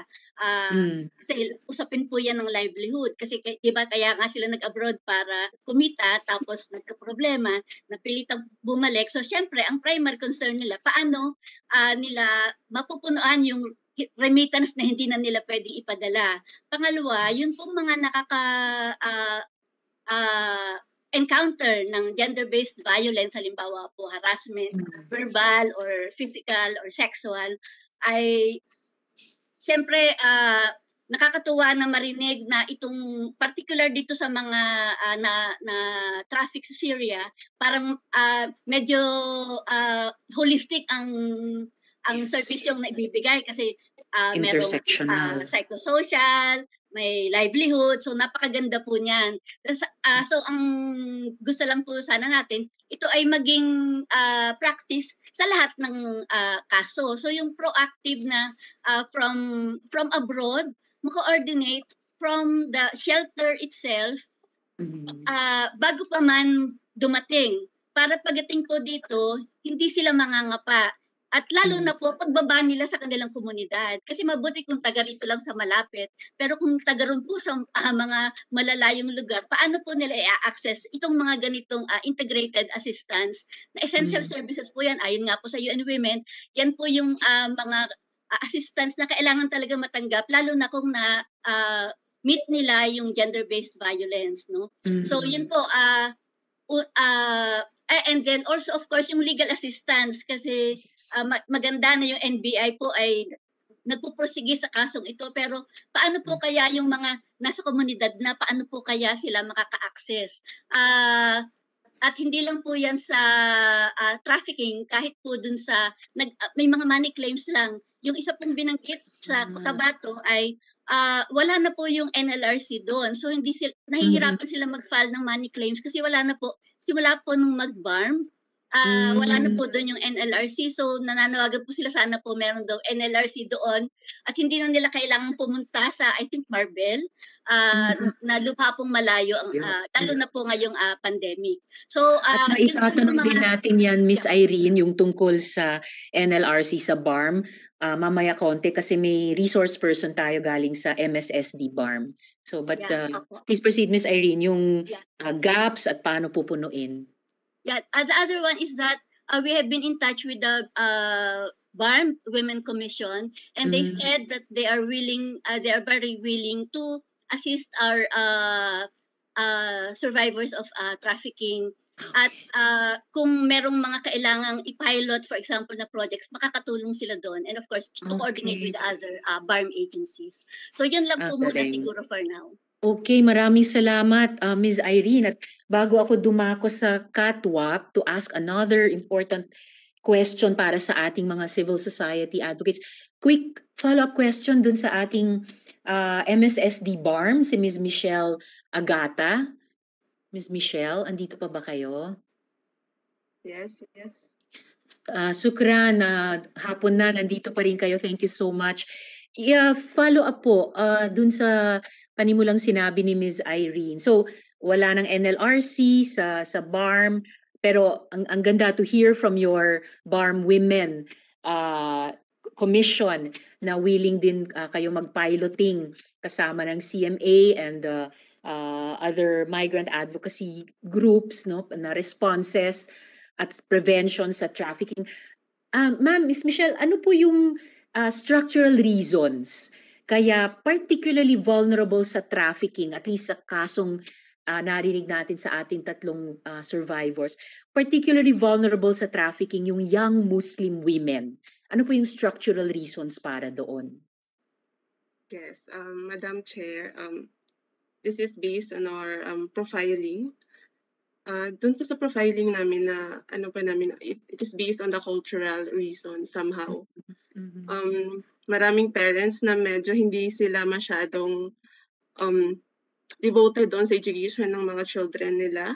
And also, um, because also of the armed con- conflicts kasi um, because of this and security issue, marami na rin pong um, nag-abroad, even minors. And also, they are not aware po of the legal age to migrate or na, to apply.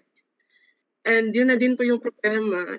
Karamihan po nito na-recruit po sa rural areas. At karamihan po ng recruiter, almost of the recruiters are the relatives po. Kaya po maraming mm, hindi po wala so far parang wala pa pong na, napo-prosecute na illegal recruiters kasi nga po nagpa-back out sila kasi kamag-anak din po nila. So yun po yung isang malaking reason kung bakit maraming nare-recruit kasi wala pa pong nasasampulan so far. Agree. And uh, nako, napakasakit marinig um, Ms. Michelle pero at tulad sa ibang mga dinidinig ng komiteng ito na too often family uh, located yung mga krimen laban sa mga bata no pati sa OSAEC yung online sexual exploitation of children uh, at iba pa um, but uh, I, I think ito ay posibleng simula ng dagdag pang mas epektibong responses natin. I hope that our committee can support you. Halimbawa kapag ka sinimulan na ng uh, BARM Women Commission ang uh, partnership sa CMA para sa piloting no ng uh, both curative and preventive sa trafficking lalo na laban sa ating mga batang babae uh, dyan sa BARM. Uh, salamat, uh, Ms. Michelle. And I have a feeling hindi po ito yung huling pakikipag-ugnayan ng komite sa inyo. Uh, syukran. Um, could I also ask now, Katwap, si uh, Attorney Sevilla, Attorney Sevilla, uh, Attorney Christina uh, Sevilla. Uh, Attorney Christina, sabi po ng isang uh, NGO sa Cotabato, uh, parang dumami pa mas lalo ang pila sa DFA ng mga kumukuha ng passport at madami doon ay mukhang minor. So yung unang tanong ko po sa inyo, do you think the pandemic is making the problem of trafficking uh, worse? Miss Attorney Christina, andito pa po ba kayo? Or ibang uh, resource person mula sa CATWAP, andito pa po ba kayo? Kung wala na po, uh, Miss Irene, would you would you like to take uh, this question? Uh, pwede po nating maalala din na si Elias Lenlen, uh, naging child bride din siya. So may intersectionality dito no mga vulnerabilities at mga challenges na hira- hinaharap ng ating mga bata. Uh, so is the pandemic also making these intersectional problems of our young women and children worse? Uh, palagay ko po, based on the feedback from our partners in uh, Mindanao, for example, uh, mas marami talaga yung attempts ngayon to illegally recruit and perhaps uh, Mhm. traffic uh, our women uh, uh, abroad, no? Kasi nga, Mhm. uh, yung even before pandemic, kasi may problema na tayo. Kaya nga, ang dami-dami Opo, nag-abroad. totoo. I, I, if Mhm. I remember right, ang Maguindanao has been, ah, hindi ko lang alam kung up to now, yung top source of domestic workers yan, no? So, Oh. and, and, and that was before pandemic. Imagine now, where uh, pa- pandemic na, ibig sabihin, aside dun sa unemployed sa Pilipinas, nadagdagan pa ito nung mga umuwi galing Mhm. abroad dahil na- na-display sa pandemic. So talagang uh, ini-expect namin ah, yung ah, at tama yung feedback ng community na ang dami talaga nagre-recruit uh, bahay-bahay o by, tri- by motorcycle. Opo, salamat Miss Irene. And um, dun sa comment niyo, lumalabas talaga na, well, yung sinasabi uh, kanina din ng ibang mga resource persons, we need to go, even while we're undertaking immediate responses, yung systemic responses then going to the roots, whether ito yung social protection o ito yung generation of decent jobs dito sa atin bilang primary and best uh, option uh, ng ating mga kababayan. And then looking at the, the intersectionality of all these problems and needed um, solutions. Yes, and may I add. Yes, uh, it has to be it has to be down to the community, you know, to the Yes. municipio and to the barangay level. Kasi uh, kumbaga malayo tayo masyado sa national, pero very concrete yung problema sa komunidad. So, uh, effort has to be done at the different stages from uh, prevention, pre- pre-departure, uh, on-site, and uh, pagbabalik no from the community level. Kasi ay, ang and we should consider na maraming mga LGUs tayo ang walang sapat na kakayahan, particular in terms of uh, budget, no. So Mhm. uh, paan, although of course uh, hindi ko alam paano yung Mandanas uh, Mandanas Oh, yes. paano yan papapel sa uh, ganyang problema. So yun lang po. isa pang mahabang at posibleng positibong ah, usapan yan, yung, yung ah, Mandanas resources bilang isa sa pwedeng magamit sa pag-generate, pagpondo, pag-sustain ng ating mga ah, interventions. Sige po, ah, mga kaibigan, no, mga kasama, bago ko po isara yung ating ah, pagdinig, meron po tayong ah, ilang huling salita no, sa pagdinig natin ngayong araw ah, mula kay Ms. Alice. Ms. Alice, nakikinig po kami sa inyo.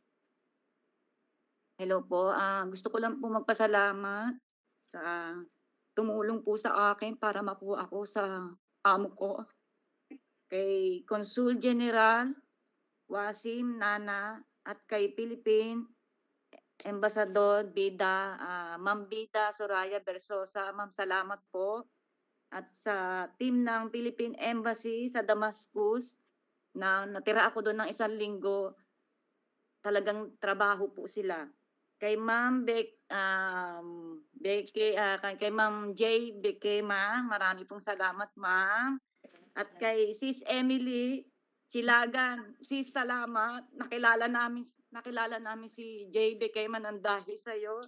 At especially ka, sa inyo, Ma'am, mahal naming Senadora Risa Ontiveros, maraming maraming salamat po.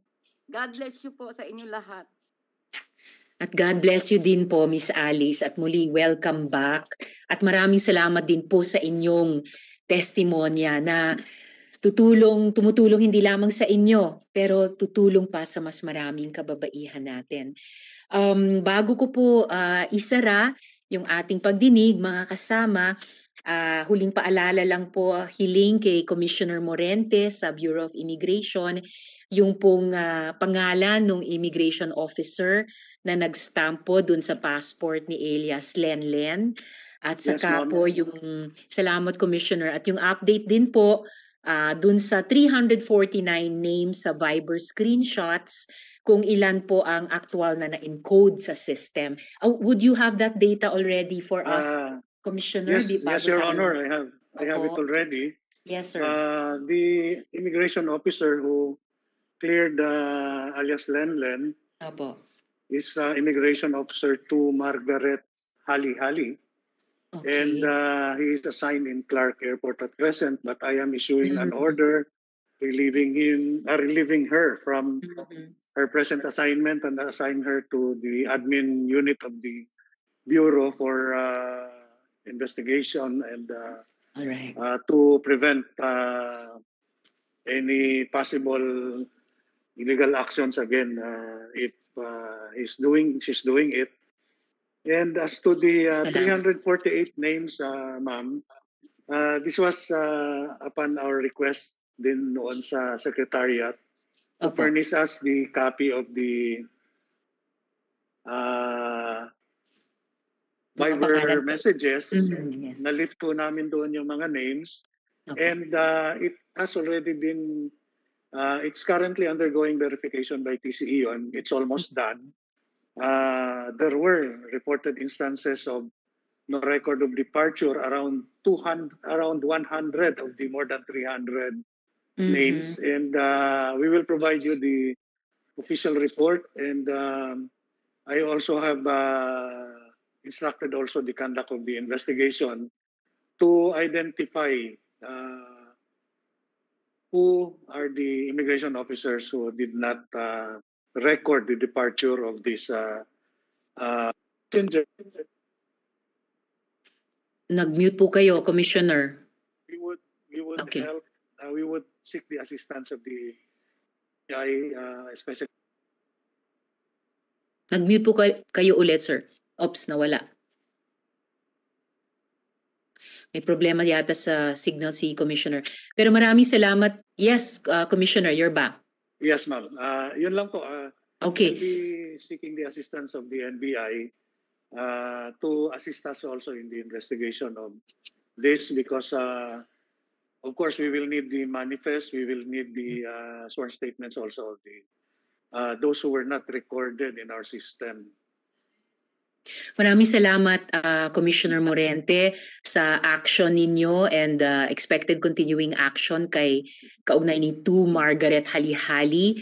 At saka aabangan po ng komite yung validation nyo dun sa aming uh, nagawang um, na napag-alaman po namin. Tama po kayo mga isang daan ang hindi na encode kasi sa aming pag-aaral lamang ang na-encode out of the 349 names ay 236 lamang. So I will await the final report of uh, Bureau of Immigration para ma-validate kung tama ba yung aming numero or may mas tama po kayong makukuha. Yes. Maraming Uh, salamat po, we'll do it as soon as Commissioner. possible, Your Honor. Thank you very much, sir. So, okay. So, um, mga kaibigan and uh, dear colleagues, no, sa hearing po na ito, nakita natin na ang Pastilla scam ng mga korap sa loob ng Bureau of Immigration ay isang bahagi lang ng napakalawak at napakalalim na human trafficking operation sa ating bansa. The breadth and depth of this revolting issue is one that we should take seriously. As if exploiting our women is not enough, unscrupulous recruiters and human traffickers are also manipulating and abusing our children. Pinatotohanan ng aming mga witness, sina Omaima, Lenlen at Alea, na dinoktor ang mga passport nila para matago na menor de edad sila, para makalabas sila ng bansa ng hindi kini-question. This is a disgusting modus that needs to be stopped. Kailangan maimbestigahan ng Department of Foreign Affairs at nagtaya silang gagawin nila ang mga illegal na kalakal na namimigay ng peking passports kanilang imbestigahan. Dapat maimbestigahan ng mas mabuti ng DFA, Philippine Statistics Authority at mga LGUs ang kanilang mga opisyal kung may kasabwat nga ba sa paggawa ng mga peking passports o di kaya'y kung may lumalahok sa mga kalakal ng human trafficking criminals. Malalim ang talon. Mukhang may korupsyon at kahina-hinalang galawan sa iba't ibang sulok ng ating mga institusyon. Sa DFA, sa paggawa ng passport, sa DILG, sa pagproseso ng mga birth certificate, at ang dati na nating nakumpirma sa BI, sa pagpapalusot ng ating mga kababayang palabas ng bansa. Narinig rin natin ang mga hinaing ni na Ms. Marites at Elias Ales. Dapat matugunan din ng DFA ang mga reklamo nila, lalo na ng mga kababayan nating nasa ibang bansa pa. Let's make them feel they're not alone. Malaki ang tiwala nila sa atin sa gobyerno, kaya sana wag natin silang baliwalain. At muli, panawagan ko po, kung may mga matitinong opisyal pa ng gobyerno o kung sino mang individual, kahit personnel, na may alam sa modus na ito, mula sa pag-issue ng birth certificate hanggang sa makarating ang ating mga kababayan sa ibang bansa, harapin nyo na kami bago pa man kayo kailangang sentensyahan ng pagkakulong. Let's all help finally resolve this. Let's defend and protect the rights and dignity of our women and of our children. Nang may lubos na pagpapasalamat sa lahat ng ating resource persons, kina Sen Aimee at Sen Joel, uh, the chair suspends this hearing. Marami pong salamat.